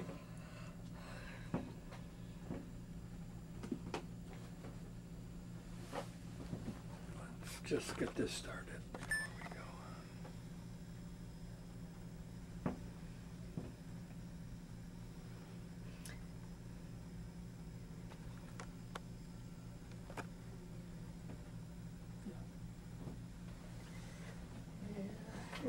Rena. Am I pronouncing that right? Yes, Rena? yes. Rena, Rena, yeah. Rena. Uh, by the way, I love your uh, your uh, accent. Oh, thank when you. you do that, you, I, I see Jaja Oh, all yeah. over, in and out and around. the the family um, has quite a, a, a number of different languages and accents to it. Uh, my father's sister Helga, who married the ship's doctor and then got sent to England, of course, uh, she had two daughters, and they speak with absolutely British accents. Yes. and um and then uh, the youngest sister who had come to the United States with the parents and brother from Tanganyika, but she had she had met a, a British Army man in, in Tanganyika, and after a couple of years working for Cook's Travel on Fifth Avenue, Meta went back to Africa and married uh, Barry Patterson, the, and who ended up in Kenya fighting the Mau Mau's Wow. during the uprising. And then after that, uh, left the military. He went to South Africa and was a general manager of some factory, something down there. And uh, they had two boys. Uh, and then, of course, started this uh, with the independence of, you know, apartheid was coming to an end and all this. And the Krugerrand, by the time Barry retired, the Krugerrand was worth nothing overseas, so they Yeah. just stayed. And then he's he's passed away, and Meta's still alive. Her one son is a fantastically clever uh, computer man, Hmm. electronics man, and he had a business in South Africa that he sold and made pots of money, and then went to Australia, and is busy making pots of money in Australia. With My cousin Nigel. It's amazing. You're um, you're an only child, and you have so yeah. many uh, relatives Yeah, and yeah, family. Yeah, yeah. from your folks on both Yeah, sides, I yeah. suspect. Yeah, the, my mother's side is, is difficult because uh, after World War II, they all uh, fell behind the Iron Curtain. Oh, So there was no communication for many years. I know we, in the 50s, we would send parcels sure. over, you know, and like I would wear a dress for a certain period of time, and then before it got too worn out, um, my auntie was in the garment industry as a designer. Uh, but before she became a designer, she was pattern maker and all this, and dressmaker and all this other stuff. So she would get the tags and then tag it as new because the Russians wanted only new things to be brought in, sent to the to the people there, and also the there were was one brother and a sister that was left behind. Uh, two brothers, but one died during World War Two, and and this guy, he was also named George, my mother's brother in Czechoslovakia, and he was kind of a wheeler dealer, and he would take a lot of stuff and sell it on the black market and make money. But he got himself somehow involved in the '56 Hungarian uprising Ah, yes. with this in I I I think I heard CIA. I'm not sure, but the Russians got a hold of him and off to Siberia he went for a visit of two or three years before he came I home. was on active duty at that time in 56, 57, during the quote Hungarian situation, Yeah, yeah, yeah. unquote. And um, I was uh, down uh, with the 1st Marine Division down at Camp Pendleton, and uh, we mobilized as much as we would have mobilized by setting up a, uh brigade. Mm, Just uh, setting up with the idea that all you had to do is bring the troops in yeah, to yeah, get another yeah. division up moving. But uh, we're called down to stand down. Well, way before it got going. Well, so those the- are little things that happen all over the world, even now yeah, in this situation, is uh, is important. I want to. I- I got you to California, Okay. and that's uh, that's. Well, that's now it becomes it becomes disinteresting. Yeah, does it? yeah, because I move out to the desert. I'm not doing anything. Uh, you know, I'm living on an allowance. You're not is, employed. You haven't been since. no, and I don't, ha- and I don't have to be. You and know, you came out what year again? uh, 89. 89. So you've And been then- here a long time. In uh, yeah, then in 1990, uh, 1992. 1992. Did you say that you came out with your roommate, by the way? Yeah, we we had shared a house, a duplex in Hermosa Beach, and we said, you know, let's sell. So, mhm. and you we can't afford here. to stay on the, in the South Bay. She was retiring from teaching, and I was doing nothing. So, desert's okay with me. We arrived in beginning of February.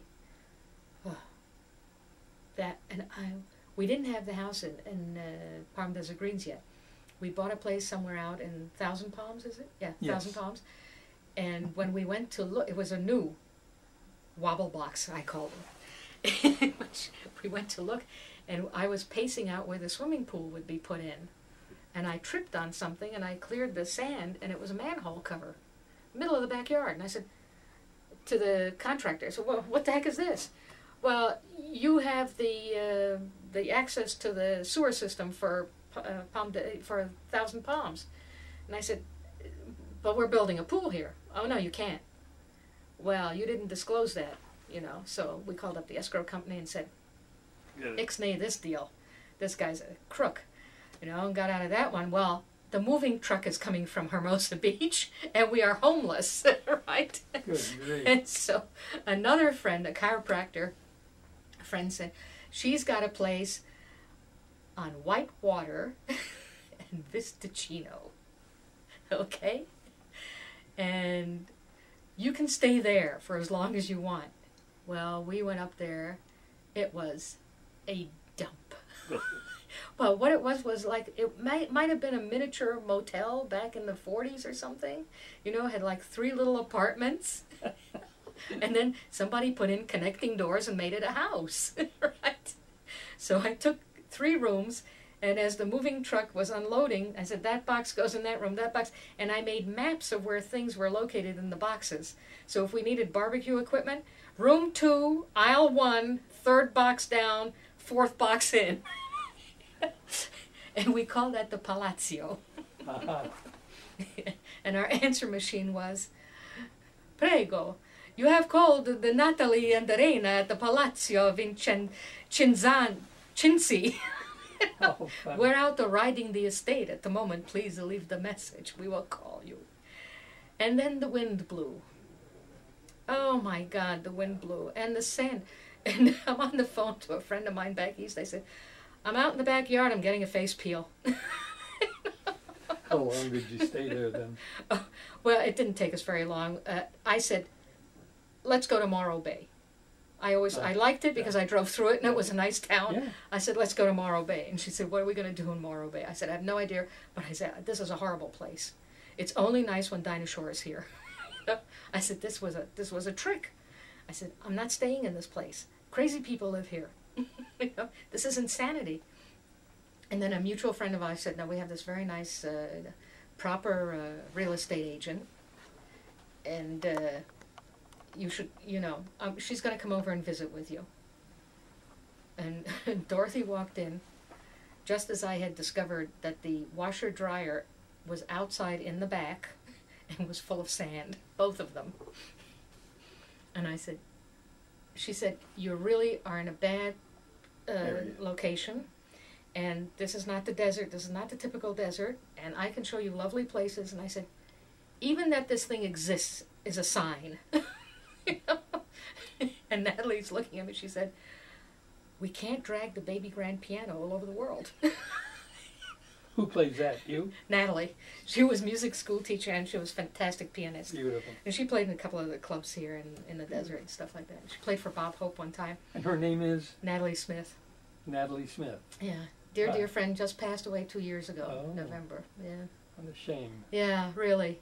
And she was from a, a very proper family. Her father and my father, I mean, Bob Smith was an American, but they were the same sweater, the same sh- the same way of the proper shirt with the proper pants with the proper shoes, and girls don't do that.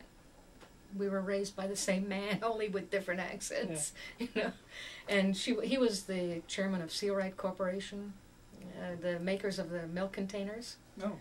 Yeah, and they were, they were, uh, you know, uh, they lived in Glendale House. She went to UCLA. hmm I have a fantastic story. She was a junior high school music teacher, and she graduated from UCLA early fifties, and was assigned to Watts. And her father said, "I have connections. I'm getting you out of there," and she said, "No, you're not. I go where they tell me to go, and I'm going to Watts." And she walked into that class, and she said, The way I play the piano is different from the way you guys play the piano. I want to hear your music. And they just thought Miss Smith was the coolest lady on campus. Mm. These junior high school kids. Yeah. And she, her father gave her a Buick convertible, right, as a graduation present, and her car was untouched, versus the other Yeah, teachers. neat, neat. you know. They just thought Nat Smith was great. So, her principal uh, fell in love with her too, thought she was great. So when he got assigned to open up Marina Del Rey Junior High School, he took a couple of his favorite teachers with him, and that was one of them. And she taught music, and the, the class was tiered seating like in a theater, and then the baby grand piano there, and then her record player and stuff. And, and she taught these little kids music. And then uh, towards the late 80s, the electives, music and all this other stuff, was being put aside, and the kids need to learn. Yeah. They're not learning the essentials. So Nat went back to school, to college, and upgraded her, her minor credential of English so that she could teach it. But they kept her in the music room. So when classes changed, that was the seventh graders, when the classes changed, she would sit at this piano, and it was beat up, old, ugly thing, but had a tone that was beautiful. And she would sit down at the piano and play music while the kids left and the other ones entered. And this little black boy comes over, and he's he's standing over, and he's watching her hands, you know, and just watching what she's doing and all this. And finally, the class is all settled, and she stops to play. And this little kid says to her, Miss Smith, why don't you get a real job? And she said, Doing what? Well, you know, playing at Nordstrom's. That's clear. That's Because school is Yeah. not a real place. Yeah, no, you know, it's a holding pen. Sure. You know? Sure. That's my favorite Nat Smith story. is cute. Well, then you stay, you were quite fr- friends with her. Oh yes, friends, yes, like yes, yeah, very close. Yes, yeah, yeah, and their families got to, uh, you know, sweet, they yeah. they met a couple of times, and yeah, And they- she's been gone now for a while. yeah, two years. Two Are you living. In the same place now? No, I have a little house up in Cathedral uh, City Cove, Cathedral Okay. Canyon Cove, Uh, Yeah. you, what's the what street address? Paradise. Oh, 39020 Paradise Way, Paradise Way, Cathedral City, Cathedral City. nine yeah, two. two, th- nine two two three four. Uh-huh. Yeah, yeah, Good, and you like yeah. it. Yeah, You're yeah, happy. yeah, yeah, yeah. You have a roommate now. Yes, I do. Yes, she is the um, uh, manager of security for Fantasy Springs. Oh, She doesn't tell any stories. Everything is a secret. And she's from North Dakota. They don't talk anyhow. So, that's right. oh yeah, you betcha. yeah. I said, so what happened at the casino today? Nothing. I said, what, of course. Uh, what do you do uh, now, uh, if I may? What do you do for uh, eh, for uh, relaxation? Ugh. What do you do for Try- fun? Try to find. Try to find the time. Um, All right. I don't sit quietly. This is unusual that I sit so such a long time. Um, all right, let, let me take you to so uh, '89. We moved down here, and then we this realtor found us a place in the Palm Desert Greens, and that was a she loved golfing, and I don't know anything about it, and I like the golf cart. That was fun, but. Uh, and then I'm so what am I doing? I'm cooking and I'm playing in the garden? And oh, I had to go back to Florida. My mother was diagnosed with uh, Hmm. with uh, bone cancer. Now, in 1953, my mother had been diagnosed with lupus, and they said to my father, "She won't live beyond 1964." Well, she lived Yeah. well beyond, and we we think it is because she started to travel with my father, and they lived mostly in hotels, so she had a quiet life Hmm. And he didn't always tell her if business was not good or if they were on Mhm. shaky ground he wouldn't let her know everything was always Right. excellent Beautiful. so he kept her her nerves you know although she said it cannot having school be so good all the time sometimes you have to have the trouble but no you know so and so she had an easy life uh, comparatively other that that they moved constantly you know and she never Sure. she her her big uh, loss and uh, was that the the group of friends you know you make friends and then three Yep. years later you're you're on your way somewhere else but she said you have to take the good with the bad so And the you older are. you get, the more difficult it is to Yeah, acquire new yeah. ones.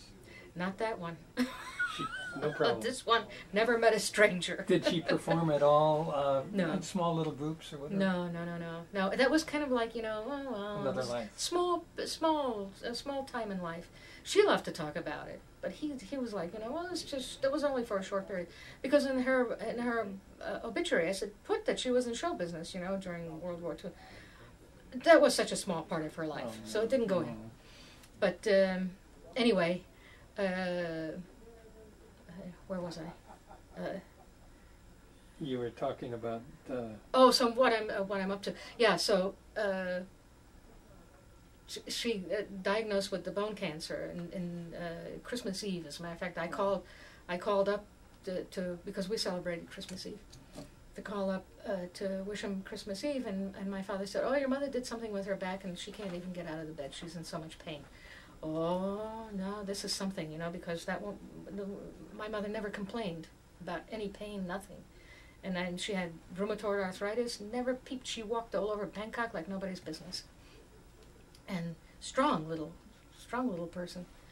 And uh, so I thought, wow, well that's really. I said, well, what are you going to do about it? No, well, after I finish talking to you, I'm going to call the doctor. And the doctor said, I find out later on. The doctor said, you take. She was standing at the kitchen sink, and something happened, and she had tremendous pain and couldn't stand up. So they took her to the hospital and they uh, into the emergency room, so on and so forth. They admitted her, and then two days later, a doctor walked in the room. Someone my father had never seen before in his life, and he said, "Well, Mr. Sholton, you know what we have here: cancer, bone cancer, and she's on uh, limited time." And the guy walked out. And my father called, and it's the first time in my life I ever heard that his voice cracks. And he said, "You have to come." Yeah. He said, "I don't know what to do. You have to come." And so I jumped on the airplane and went down there, and uh, she first she was in the when I arrived she was still in the orthopedic ward, and uh, do- our their regular doctor walked in and he said, uh, the, "Okay, it's it is confirmed she has bone cancer, and she's going to move from the orthopedic ward. She's going to go up to oncology," and of course the three of us broke down crying. And my mother sat in that big bed, that little lady, and she said, Basta. She said, What are we complaining about? She said, I should have been dead in 1964. And here I am in 1992. She said, I lived on borrowed time for 30 years. Sure. We have nothing Yeah. to complain. And up to oncology we go. And so a couple of, you know, of course, I'm things are happening and days go by. And the doctor walks in and said, We're going to do chemo and we're going to do x ray treatment. And my mother said, No. She said, I'm living on borrowed time and it's my time to go. I go. Hmm. And he said, Mrs. Sh- uh, Sholton, it's not to save your life, it's to control the pain. And she said, Okay, doctor, to control the pain, yes. But you make me to live one day longer than I should, I will come back and ghost you. and three months, they said right? they diagnosed three three to six months and exactly Was it primary in the bone? From head to toe. And they had been uh, the doctors had been treating her for osteosporosis for a year, Yeah. and all with the lupus because she took prednisone. First it was cortisone. yeah. Touch wood that she reacted to all these medications very well, and she stayed out of the sun. And you know, Yeah. unfortunately, my father's business was in the tropics, so you know. And my dad, when my mother hit forty, he said, "I want the sleeves down to here. I don't want to see this loose skin, and I don't want to see the neck covered to here." So there she's in the tropics, covered from head to toe, and she had very, very fine blonde hair. So when she perspired, the hairdo collapsed. Sure. So she would make turbans for herself, and I mean, she was so unique looking there in the in the heat where everybody else is half naked. Yeah. You know, here she comes. Like a lady. yeah, and very, very uh, the skin very, very white, and uh, the ties when we walked down the street. Well, sometimes she wore a sleeve down to here. You know, I mean, her her Mhm. arms were uh, exposed, and because of her white skin, as we walked down the streets in Bangkok, the ties would touch her. You know, and the first time it happened, I said, I kind of like, what the heck? And then it happened again and repeatedly, and I said, what goes on with these people? What is their problem? She said, Renushka, because I am so white, they think I bring good luck if they touch me. She said, it's okay, let them. Yeah, sweet, sweet. Yeah. yeah. Now, what year was that that she passed away? Uh, it was the March of uh, 93 93 in Florida, in Florida, in Clearwater. in Clearwater. Oh, And I have to tell is you. she uh, buried? Uh, Uh, down uh, there? at sea. They, At sea. they both uh, uh, wanted And cremation. your father was still living. Yes, he lived another 10 years. Was was he much older than your mother? Uh, a year, year and a half. Just a year. yeah, yeah. So he kept in pretty good condition and in shape Yeah, too, yeah, didn't yeah, he? yeah. No, he was, he was comparatively healthy. Um, you know, took some uh, cholesterol pills and was Yeah. maybe, I think he had angina or something. How old was your mother at her time of her death? 1975. Oh, and that's another remark of hers, because she knew she was dying. How old? How old was she at the time? 1970. Uh, I'm, so, I'm sorry, she was 75 years old. Seventy-five years. Old. Yeah, 75 years old. And and, and she knew she was dying. Yeah. I mean, my Yeah, father sure. said, we're, we're not going to tell her. And I said, that's not fair. Yeah. This is not correct, you know. Maybe she has something Yeah. to say or do before she goes. No, I don't want her to know. And, well, the woman has ESP, you know. Yeah. She's, Every woman has. you're not going to fool this one. And uh, she said, Ervinchko, I'm not going to make it out of this one. Oh, Martha, you nonsense. You know, well, you could tell on our faces that, no, you're not going to make it. And I was kind of, I didn't want her not to know. So, you know, Yeah. she could, she could tell. And one day she woke up from the morphine and she looked at me and she said, Renushka, this is not the way I planned it. she said, You know, the bastards. Now, she used certain words in English that were not good. And my father always said, think of it in Russian first and then say it. It's a terrible word. She said, then yeah, the bas That was her word for men. She said, the bastards, they always die before us, you know? So your father was to precede me, then I was going to go on a cruise with my Miltown and my vodka and have a oh and a bottle of champagne. Go to the back of the boat eat my Miltown drink my my champagne and jump overboard. You don't even have a body to bury. That was the plan. But the god he interfered. And that's something, yeah, yeah. and then and I said, "Oh, Mumsy, don't don't talk like that," you know. Or we're kind of it was funny, so I laughed. And she said, "You know, the one good thing is I still look good, so you will always remember me as looking very good, not an old lady." And she did. And she did. Isn't that nice? Yeah, yeah. It's a wonderful story, a beautiful story about you and your mom. Yeah, That Yeah. should be written up. yeah, yeah, I'm glad we can talk about that. yeah, yeah. You your know- dad lived on for a while Another ten years. down there Uh, alone. No, he he didn't want to stay. He said, you know, she's all over the place down here. And he said it's not for him. It was uncomfortable for some reason. And I said, well, they say you shouldn't do anything the first year. You know, you Yeah. you need to adjust to what has happened. And he said, if you don't mind, he said, I'd like to come to California, and I promise not to hang on your neck. And I said, well, you know, I know you're not going to hang on my neck, for heaven's sakes, you know. So I, I, we transported some stuff through UPS, and then there were certain certain things that they had collected from around the world that he didn't want shipped. So we we hired a U-Haul, and I packed it. I packed every. You, it won't fit. And Natalie said, "Does he ever stop?" And I said, "It's okay, no problem. I'm used to it, you know." You can't make that go. That's enough. That's enough. There's you have too much in there already. Said, "Mhm, one more thing, pups. and then we drove across. Well, you go up uh, Highway 19, connect to 10, turn left, and stop in Palm Springs. You know? That's right, yeah. And Texas is endless. Yeah, yeah. No, that's true. oh my That's God! true. You just keep going. Texas. We're still in Texas. We're still in Texas. Yeah. But did you have enough room in your place to uh, put all these well, he, yeah, yeah, uh, well, we had a huge we had we had a huge garage. So the when the stuff arrived, it went to the garage, um, and he didn't bother with the furniture. He left the place furnished, and and it was a he bought it was uh, he outright owned the condominium. I see. So he gave it to a realtor to sell, and I said, "You ought to hang around. You know, these guys are crooks, especially Florida doesn't have rules. You know." And he goes, "No, no, he's an honest. My father was a dead honest man, Yeah. very honorable man, and the stockbroker didn't do him any favors. Oh, the realtor sold it for half what he paid for it. I mean, it Yeah, just that's a shame. it, it, it, ah well, you know what can you do? He didn't want to stay. He didn't want to. It's all right. Don't worry about it. I don't.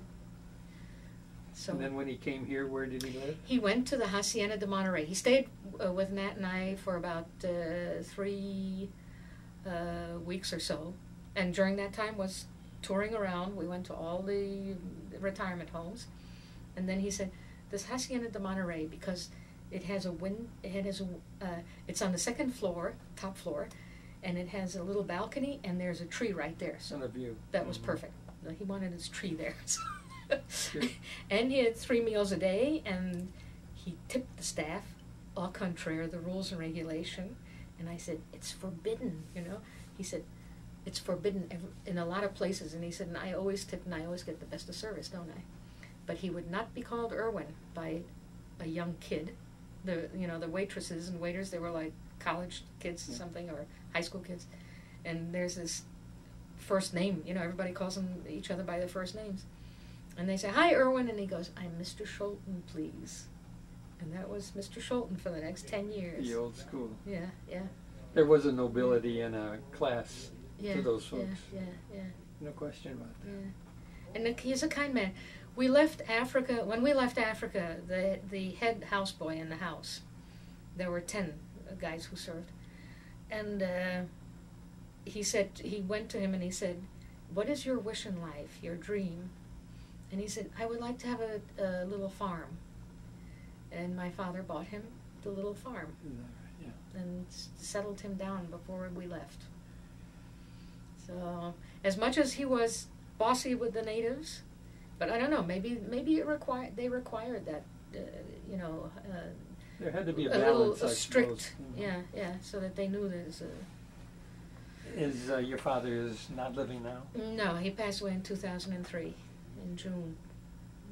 right here in, In the uh, desert, yes. Yeah, and yeah. Uh, he Was lymphoma. oh yeah. Dr. George uh, got him into remission one time, and then Dr. George got was killed on this highway accident. You know this oncologist guy. He's from India, and my father knew exactly what, what village he came right? from. Oh, they used to talk about India, and uh, and he he took chemo, and he and he he came through the first time, and he was in remission for a couple of years, and then even worse than that, his eyesight went. a very aggressive wet macular degeneration you know and all he did was read my mother used to complain you know he doesn't talk to me he reads his books or he collects his, his coins but he doesn't talk to me this man and i think my father under his breath said you talk enough for both of us you've taught the kid to do the same thing How old was he when he passed away? uh, 89 Eighty-nine. Mhm. and his twin brother still lives he's in miami Oh, he does. yeah he still- survived you throat still- cancer You still uh, talk to him and correspond with occasion. everybody? on occasion there's a little family mm. Okay.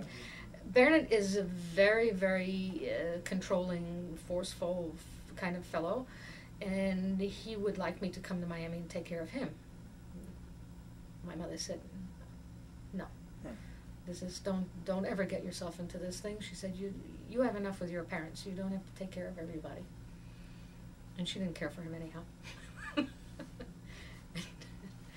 and one, you know, there's there are certain infamies, things inside the family, you know, that uh, little things that leak out Sure, that you of course. you, you know that. Uh, Right, let it be.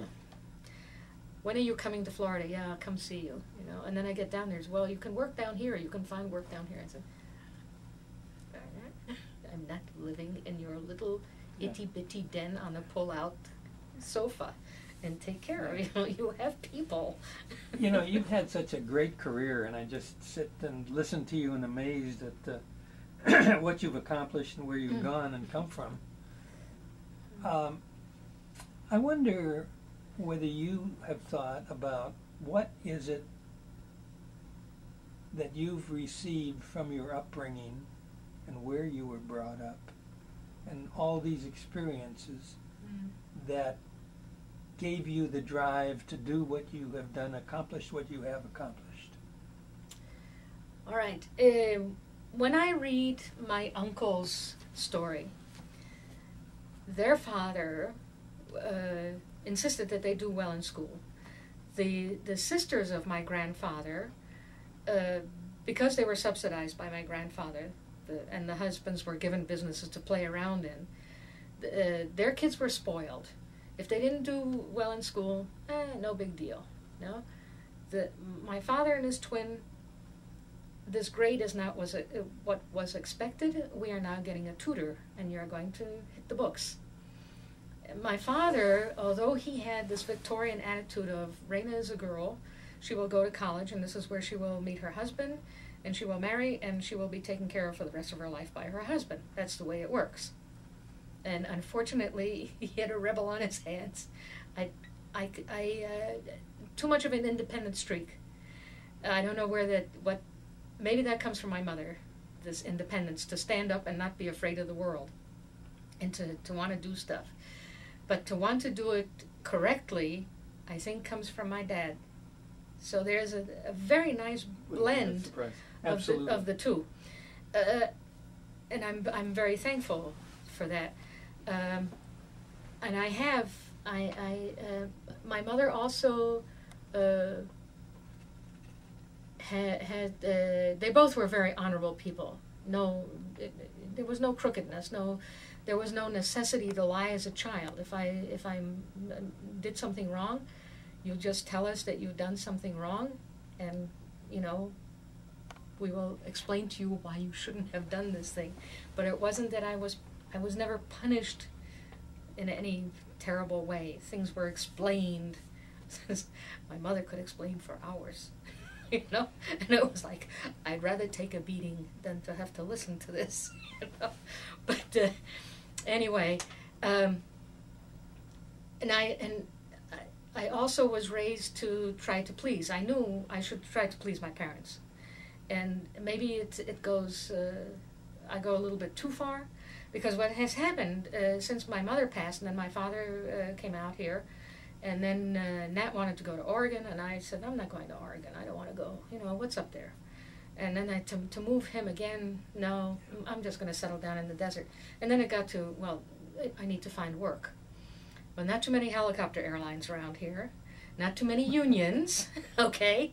So what do you do? You, you have taken care of people most of your life, yeah. right? Uh, one form or another. So security. And I, so naive, when walked into the security company and said, I would like to work for you, you know, thinking that everything was going to be on the up and up. These are the biggest crooks in the world. You know? Don't tell me that. Well, there's a lot of shifty stuff going on in security business. Not not the employee himself, the security guard. No, God bless him. In spite of some really uh, uh, difficult, uh, you know, circumstances, he does his job to the best of his ability. Anyhow, I joined Guardsmark. And worked for them for 15 years. I just retired a couple of years. I- Yeah. Uh, bleh, when was it? Six, uh, 2008. Uh, 2009? No, 2000, no, 2007 because I have one. No, 2008 because we just passed the one year la- uh, on, in nine. And I, I uh, first was assigned to driving patrol from 9 o'clock at night to 5.30 in the morning in a gas operated golf cart and outdoor resorts on Date Palm and Ramon. Again, the luck. I'm working with three former Marines, and note that I used the correct former Marine, right? Gunny Sergeant Sears, Gunny Sergeant Dell, retired, 40, uh, 20 year men, and uh, uh, the other Marine was a guy by the name of Tyrone, who was in tanks in Desert uh, Storm. Storm, mhm, Yeah. Sure. He said they always said we were FedExed into the war because they they Yeah. they flew them in on FedEx, Yeah. And they said when that thing loaded and the ramp went down, he said lock and load, we were ready, you know, and uh, oh nice men. they, they were you. a little bit naughty, but nice. They were, and they took very good care of me, especially since it was nighttime. That's the Marine way. Yes, but you know I'm also equal. So if I'm supposed to drive that that crummy uh, little golf cart and it's you know the sprinklers are blowing water on me and the wind is coming and it's it's four, 39 degrees out there you know while I'm in the street and I'm shivering never mind she's got to do her two hours you know Did you have any exciting times uh, while you were in that job? only t- only because I was I scared myself Oh. in the middle of the night. Have you have you been inside this outdoor resorts? This no, is, I have not. it's it is one thousand two hundred and thirty lots for these motorhomes, and they're all Class A motorhomes, right? They're not uh, fifth wheels or anything like that. They're these Is big. that the one that has a small golf course in there? Too, Yeah, as yeah, yeah, yeah, Yes, yeah. I have been there. I have a friend that. Oh, I made myself into place. trouble one day. Uh, in the middle of it. Oh, anyhow, I'm getting ahead of myself. So I show up there at, at uh, nine o'clock at night. My, you know, my first day on duty, and you're not to come before 15 minutes before schedule, and you're not supposed to stay longer than 15 minutes after your schedule. You know, and I'm I'm following all the rules and regulations. These guys are going relax. but so I start. They give me a map. It's pitch black, right? and I'm driving around through all these. I mean, it's it's unbelievable streets, and I'm and I'm getting myself all turned around, and then finally I said, "Stupid, the tram light, that's always in the same place. This is your point of reference," and that's how I learned my way around outdoor resorts in the middle of the night. Did that from uh, September till January, and then they they moved me to a schedule 1.30 in the afternoon till 9.30 at night, right? Five days a week. Yeah, forty hour day, uh, eight hour day, forty. Sometimes hours. on the weekends. Oh yes, Yeah. rotating, all sorts of things. So, and and I said I'm used to shift work. You know, I always did funny hours, and uh, so I show up for work at 1.30 in the afternoon. This is the first time I see this place in broad daylight. It's a lot smaller in the daylight than it is at night. Your mind, you know. Sure. And so I'm driving around, and of course I see the golf course for the first time, and it's all little par threes, you know. And I, and of course, like I said, you know, I love a joke, and I can't stop myself when I see one. So I pick up the radio, and I radio back to the gatehouse. I said, when are they putting up the castles and the windmills? Because it's so little. The manager has a radio in his office, and he listens to us talking to each other, right? And the, uh, of course, the Marines taught me to talk in numbers, but this one, yeah, how do you put a windmill in a number? and, and Sears radios back. He said 1020. I mean 1019. 1019 means come back to the gatehouse. So I skedaddled my little. It's governed at eight miles an hour, by the way. And I was in hot pursuit of a Ferrari one day who blew a stoplight, stop sign. you know, and I'm there like this, trying to make it go faster. so I go back to the gatehouse, and Sears says, "Don't." He said, "Watch yourself on the radio. This manager listens to us 24-7. You know, I went, "Oh, oh."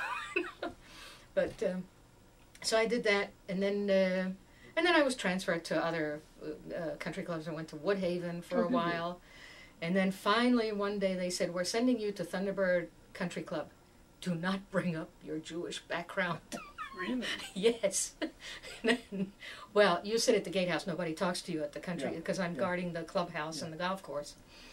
And uh, the only thing is get that arm up as fast as you can the moment you see them, you know, because they're busy and they don't. It's a suit. Yeah. They don't know it's a man, woman, or who's standing there, Okay. you know. But there was one gentleman, and he had a Marine sticker on his car. So when he would come up, and he had a, the, I recognize his license plate, and whenever ever he drove in, I always gave him this, you know, and he saluted me back. Four four years later, uh, I'm assigned. They're opening up the gatehouse at Thunderbird Terrace, which is one of the seven gates around Thunderbird Country Club. There are 48 homes in there, and some of them are country club members, and some of them no, you know. And so we open up the gate, and here comes the Marine. He's a retired, uh, Mhm. elderly gentleman, and he pulls up to the gatehouse, and and I'm like this, you know, and he's, he salutes me back, and he op- uh, rolls the window down. He said, "I'm Roger Rice, and what's your name?" And I said, "God, I've been saluting you for four years." I said, "My name is Rena," and he said, "Well, we're very happy to have real guards in this gatehouse instead of just a telephone." I said, "Oh, well, th- thank you so much," you know, and. Uh, and all these home owners are doing the same thing. They're pulling up to the gate, they're stopping, they're introducing themselves, nice. you know. And I said, What the heck is this? You know, over there, they couldn't have identified me in a mugshot for nothing. We're guarding their home, not someplace where they go to play. Yeah, This yeah. is their home. Yeah. And they really treated us as a member of the household staff, oh, neat. not some en- some little entity in a box out there. That's all the difference. I mean, did you enjoy your day off? You know, how are things mm. going? Is your dad okay? you know, the nicest group of people, really, really proper, nice people. That's beautiful. Yeah, and then from there, uh, the first supervisor was a, was a British gentleman, Frankie Bancroft. He had been the manager of air freight for Pan Am at Heathrow.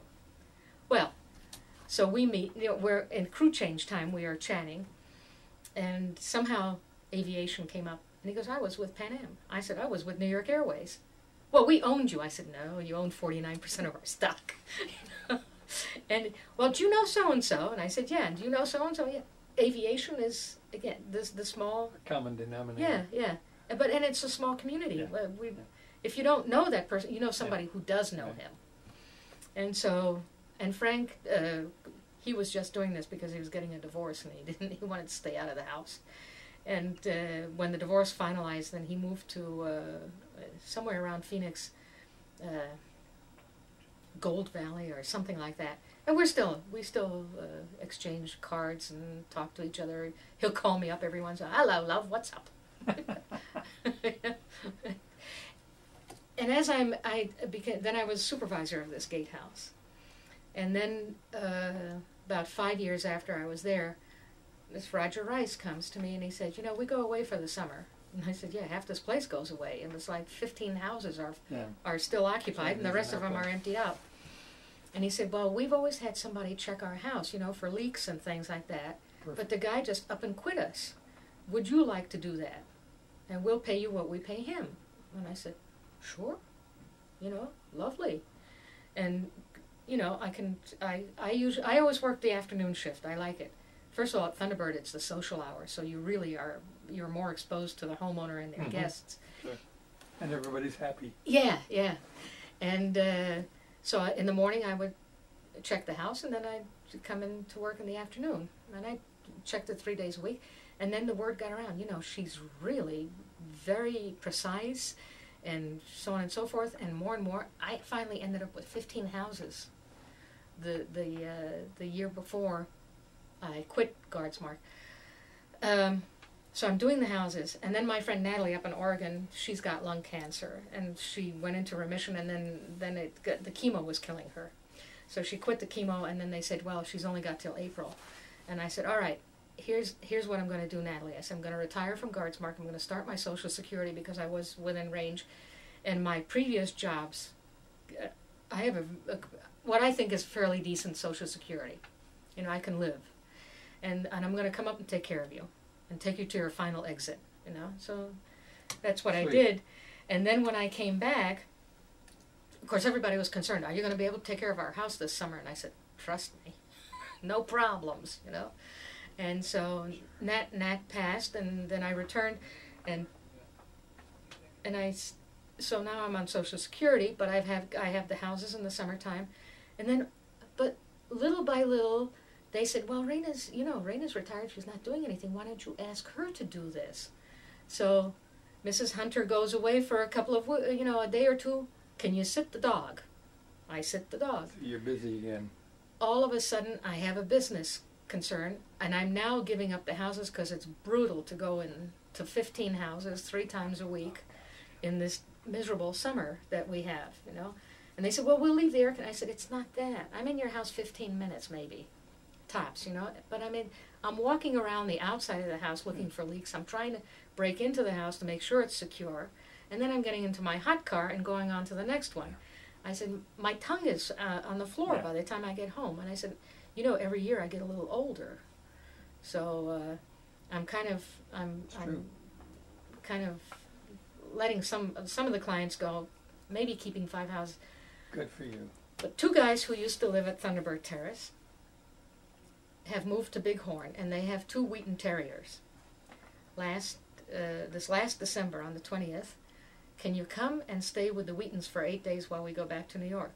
Okay, I know Kyle and Sophie, and there's a dog park up in in uh, Bighorn, so that's you know you walk. I I I uh, the bigger dogs I exercise a great deal and I've had I've had a connection with animals because of I think because maybe I was isolated in Africa or something. So there's a I have a rapport with an animal.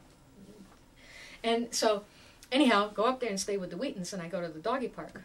Well, my name's Albert, what's yours? And I don't want them to think I'm a homeowner. So I said, I'm right now I'm the dog walker and dog sitter. Oh, well do you have a card? Because we go out of town. Here's my card. so since December, the the doggy business has come up. I start. I, I the two guys came back the 28th of February. Uh, the 29th of February, I'm already with Boris. Boris the dog for 17 days. So I've just come off of that. what an interesting. I, think- just keep, I- I, don't I know. You just keep on doing it. I, yeah, that's amazing. And you're still doing that. Yeah, off and on. yeah, yeah, yeah, yeah. No, this is this is business This now. is it. Yeah, I st- I'm still watching three houses from last. Well, the one the one couple left late in August, and they said, "Can you take us to the airport, Rena?" Go And ahead. I said, "Sure." And they said, "Okay, uh, the airplane's going to go at a quarter to eight, so pick us up at seven fifteen. And I said, "You know, Mr. Samus, I said you're cutting it a little bit close, aren't you, with security and everything?" He goes, "It's our airplane, Rena. It goes when we go." I went, "Oh, oh, of course." Well, Rena, um, I'm going to have to uh, cut this kind of close here shortly. yeah. I do want to ask you one one more thing, though that that I think uh, number one, it's been a pleasure uh, talking with you. Your personality and such is just a winning way. Well, thank you. I'm not Thank you. surprised that you go from one to the other and they're still going. But what what kind of advice would you give to a young uh, girl who comes to this country from another land, not knowing English, what kind of advice would you give her on the as she gets off the plane or off the boat, as the case may be, and to what to expect from your experience? America is an extremely Americans are extremely kind people. Even even after all the the nonsense that we've taken over the last few years, you know, that we're hated around the world. Uh, I think the um, Ameri- the average American is extremely kind, very generous uh, people. I had I saw this situation at, at Thunderbird Terrace that you described. There's a, a au pair who was brought in from Germany to to uh, help out in in the household with grandchildren and stuff, and the girl could barely speaking uh, speak English, and these people turned themselves inside out to to communicate with her and to try to show her things and to make her comfortable, you know. And I said, there we are. That's that's that's what we are. Just super. Don't be don't be frightened in this country. Don't because uh, it's mostly kind. Uh, really kind. It's so giving. You know? Mhm. Very we're very generous people. Look what happens in Haiti, right? We have our own financial woes and our own troubles in this country, but who the heck is expected to go down and help these people? It's the Americans, and and we and we do it.